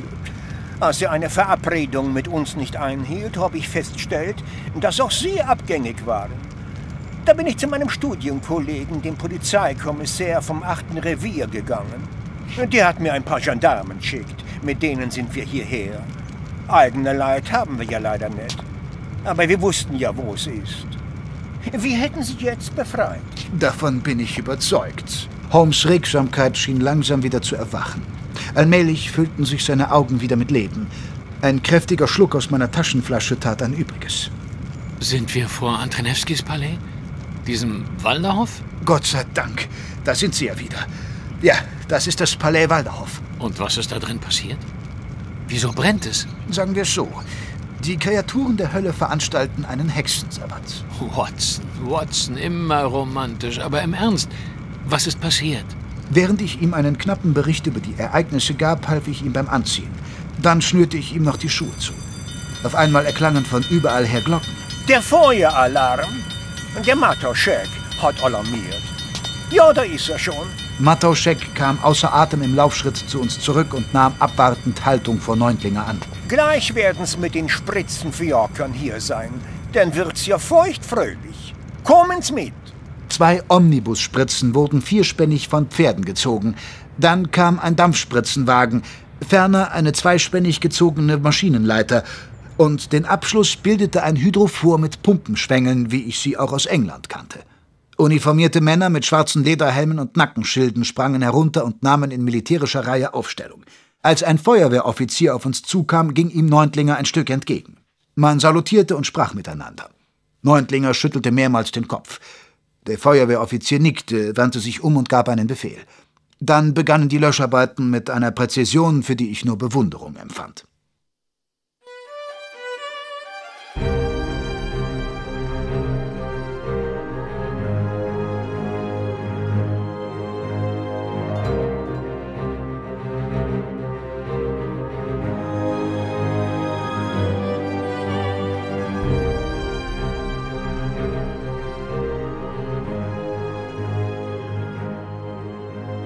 Ich will den Hörer nicht mit einem Bericht über die Rekonvaleszenz meines Freundes langweilen. Sie machte so rasche Fortschritte, dass wir bereits nach einer Woche die Heimreise nach London antreten konnten. Landsteiner, dessen Essensgäste wir in der zurückliegenden Woche so oft gewesen waren, dass sich meine Hose kaum mehr schließen ließ, begleitete uns persönlich zum Bahnhof. Ich habe da eine Theorie, vielleicht ein bisschen spinnert, aber schau's doch einmal her. Landsteiner zog einen abgewetzten Taschenkalender hervor, malte etwas auf das Blatt, riss es heraus und hielt es uns hin. W vor K wird im Slawischen wie F ausgesprochen. Und dann muss man nur gut schütteln. Frankenstein. Schauen's, es passt ganz genau. Der Name ist ein Anagramm. Und Sie glauben nun, er wäre Viktor Frankenstein der Dritte oder Vierte? Von der Hand zu weisen ist es aber nicht. Dr. Landsteiner, ich bin Ihnen dankbar für alles, was Sie für mich getan haben, aber das geht zu weit. Frankenstein ist die Erfindung einer exaltierten Autorin, nichts weiter. Frankenstein gab es nicht, gibt es nicht und wird es nie geben. Und das Ungeheuer, von dem Dr. Watson erzählt hat? Das sich selber auseinandergerissen hat? Ist verbrannt. Die Wiener Brandpolizei konnte bekanntlich nur die Knochen eines hochgewachsenen Mannes bergen. Dabei sollten wir es belassen. In aller Freundschaft. Wie Sie meinen, Mr. Holmes. Also dann, leben Sie wohl. Sie auch, Professor. Und danke für alles. Holmes lupfte etwas kühl seine Mütze. Ich dagegen schüttelte dem Arzt mit verschwörerischem Grinsen noch einmal herzlich die Hand. Mit gewohnter Festigkeit erwiderte er den Händedruck.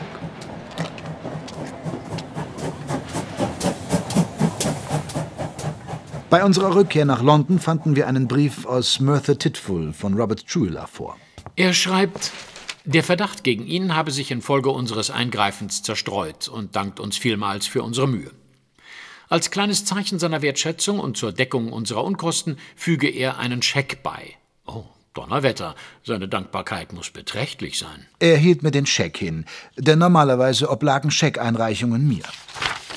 In dem Paket, das ich aus Wien mitbrachte, befand sich Casimiro Castros meisterhafter Akt von Maria Jesus de la Escosura. Die Wiener Brandpolizei hatte das Gemälde wohlverpackt im Palais Walderhof geborgen, und Neuntlinger hatte es mir mit allerhöchster Billigung der kaiserlich-königlichen Behörden zu treuen Händen bis zum Wiederauftauchen der Besitzer mitgegeben. Als Lestrade eine Woche nach unserer Rückkehr Holmes einen Genesungsbesuch abstattete und das Bild von Marie-Loubs Mutter erblickte, bekam er regelrechte Stielaugen. Ein kleines Souvenir aus Wien. Äh, ich hatte eher den Eiffelturm erwartet. Wien, Lestrade, Österreich, Stephansdom, nicht Eiffelturm. Der steht in Paris. Ein kleiner Scherz, Mr. Holmes. Kleiner Scherz. Hier bitte. Das schickt Ihnen meine Frau. Selbst gebacken. Mit den besten Wünschen für eine recht baldige Genesung. Anisgebäck? Ah, richten Sie Ihrer Frau Gemahlin meinen herzlichsten Dank aus. Ihre kulinarischen Künste werden meine Genesung sicherlich aufs Trefflichste fördern. Das hoffen wir alle. Wie gut, dass es Ihnen schon wieder viel besser geht. Wir hätten Sie auf das Schmerzlichste vermisst, Mr. Holmes. Auch wenn wir nicht immer einer Meinung sind, glaube ich, wir bilden ein gutes Team. Holmes wechselte buchstäblich und mit einem Schlag die Farbe. Man sah, welche Mühe es ihn kostete, nicht die Beherrschung zu verlieren. Ehe er Lestrade als Teamgefährten bezeichnen würde, würde er sich lieber wie der grausame shakespeare'sche Feldherr Titus Andronicus selbst die Hand abhacken. Hatten wir nicht eine Wette? Wollten Sie nicht den Mörder vor mir fangen? Lestrade begann seine Hände zu kneten, wie immer, wenn er sich in die Enge getrieben sah. Heißt das, Sie wollen die fünf Pfund von mir? Wenn wir uns präzise an unsere Abmachungen halten wollten, müsste ich genau diesen Betrag einfordern. Andererseits.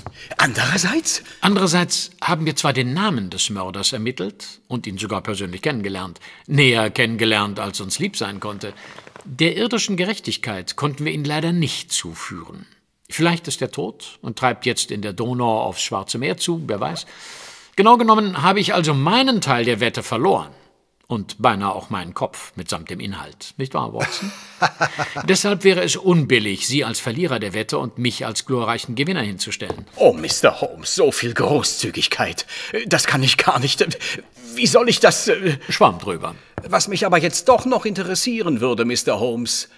Worum ging es hier eigentlich? Warum wurde Lushing ermordet? Weil er unter Akromegalie litt und jemand sein Blut untersuchen wollte.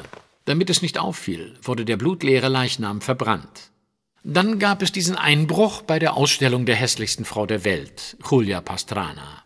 Sie litt unter Hypertrichose, das heißt, sie war behaart wie ein Pelztier. Jemand wollte ihr eine Hand abschneiden, wurde aber gestört. Die Absicht war, diese Hand medizinisch zu untersuchen. Dann jagte meinem Freund und Mitbewohner Dr. Watson, ein über und über behaarter Mann lateinamerikanischer Herkunft, in unserem Vorgarten den Schrecken seines Lebens ein. Und der Apotheker Colthroy fühlte sich durch ein ebensolches Wesen in seinem Garten belästigt, doch ein bornierter Detektiv mochte ihm keinen Glauben schenken. Danach verschwand ein gewisser Dr. Barthorpe in Wales.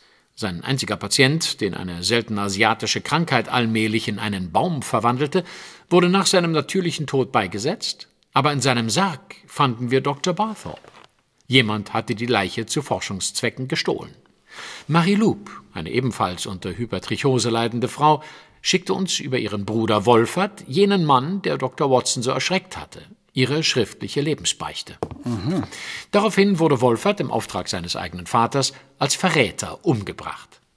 Die Lebensbeichte Marie Loops klärte uns über alle wichtigen Punkte des Falles auf. Dr. Watson wird so freundlich sein, sie abzuschreiben. Sie können sie also schon demnächst lesen.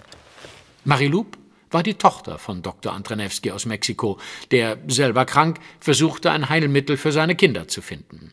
Dazu brauchte er Blut, sehr viel Blut, das er, wie Sie wissen, Menschen stahl, die auf die Armenspeisung angewiesen waren. Mhm. Antrenewski war am Schutze eines Zirkusunternehmens nach Wien in ein vorbereitetes Versteck geflohen. Wir folgten ihm dorthin. Dr. Watson wurde entführt und von Antrenewski in seine Pläne eingeweiht. Antrenewski wollte nicht nur ein Heilmittel für seine Tochter finden, sondern auch für sich eine neue leibliche Existenz erschaffen und einen neuen idealen Menschen zusammenbasteln. Zu meiner Ehre muss ich sagen, dass mein Gehirn in den Kopf dieses neuen idealen Menschen eingebaut werden sollte. In Wien konnte ich der Versuchung, Gustav Mahler als Dirigent des Lohengrin zu erleben, nicht widerstehen. Noch während der Vorstellung wurde ich entführt, betäubt und in Antrenewskis Versteck verbracht, das übrigens mitten in der Stadt lag. Marilub selbst ließ ein Wesen frei, das ihr Vater geschaffen und gefangen gehalten hatte. Im Zuge einer handgreiflichen Auseinandersetzung zwischen ihrem Vater und dem Geschöpf starb dieses.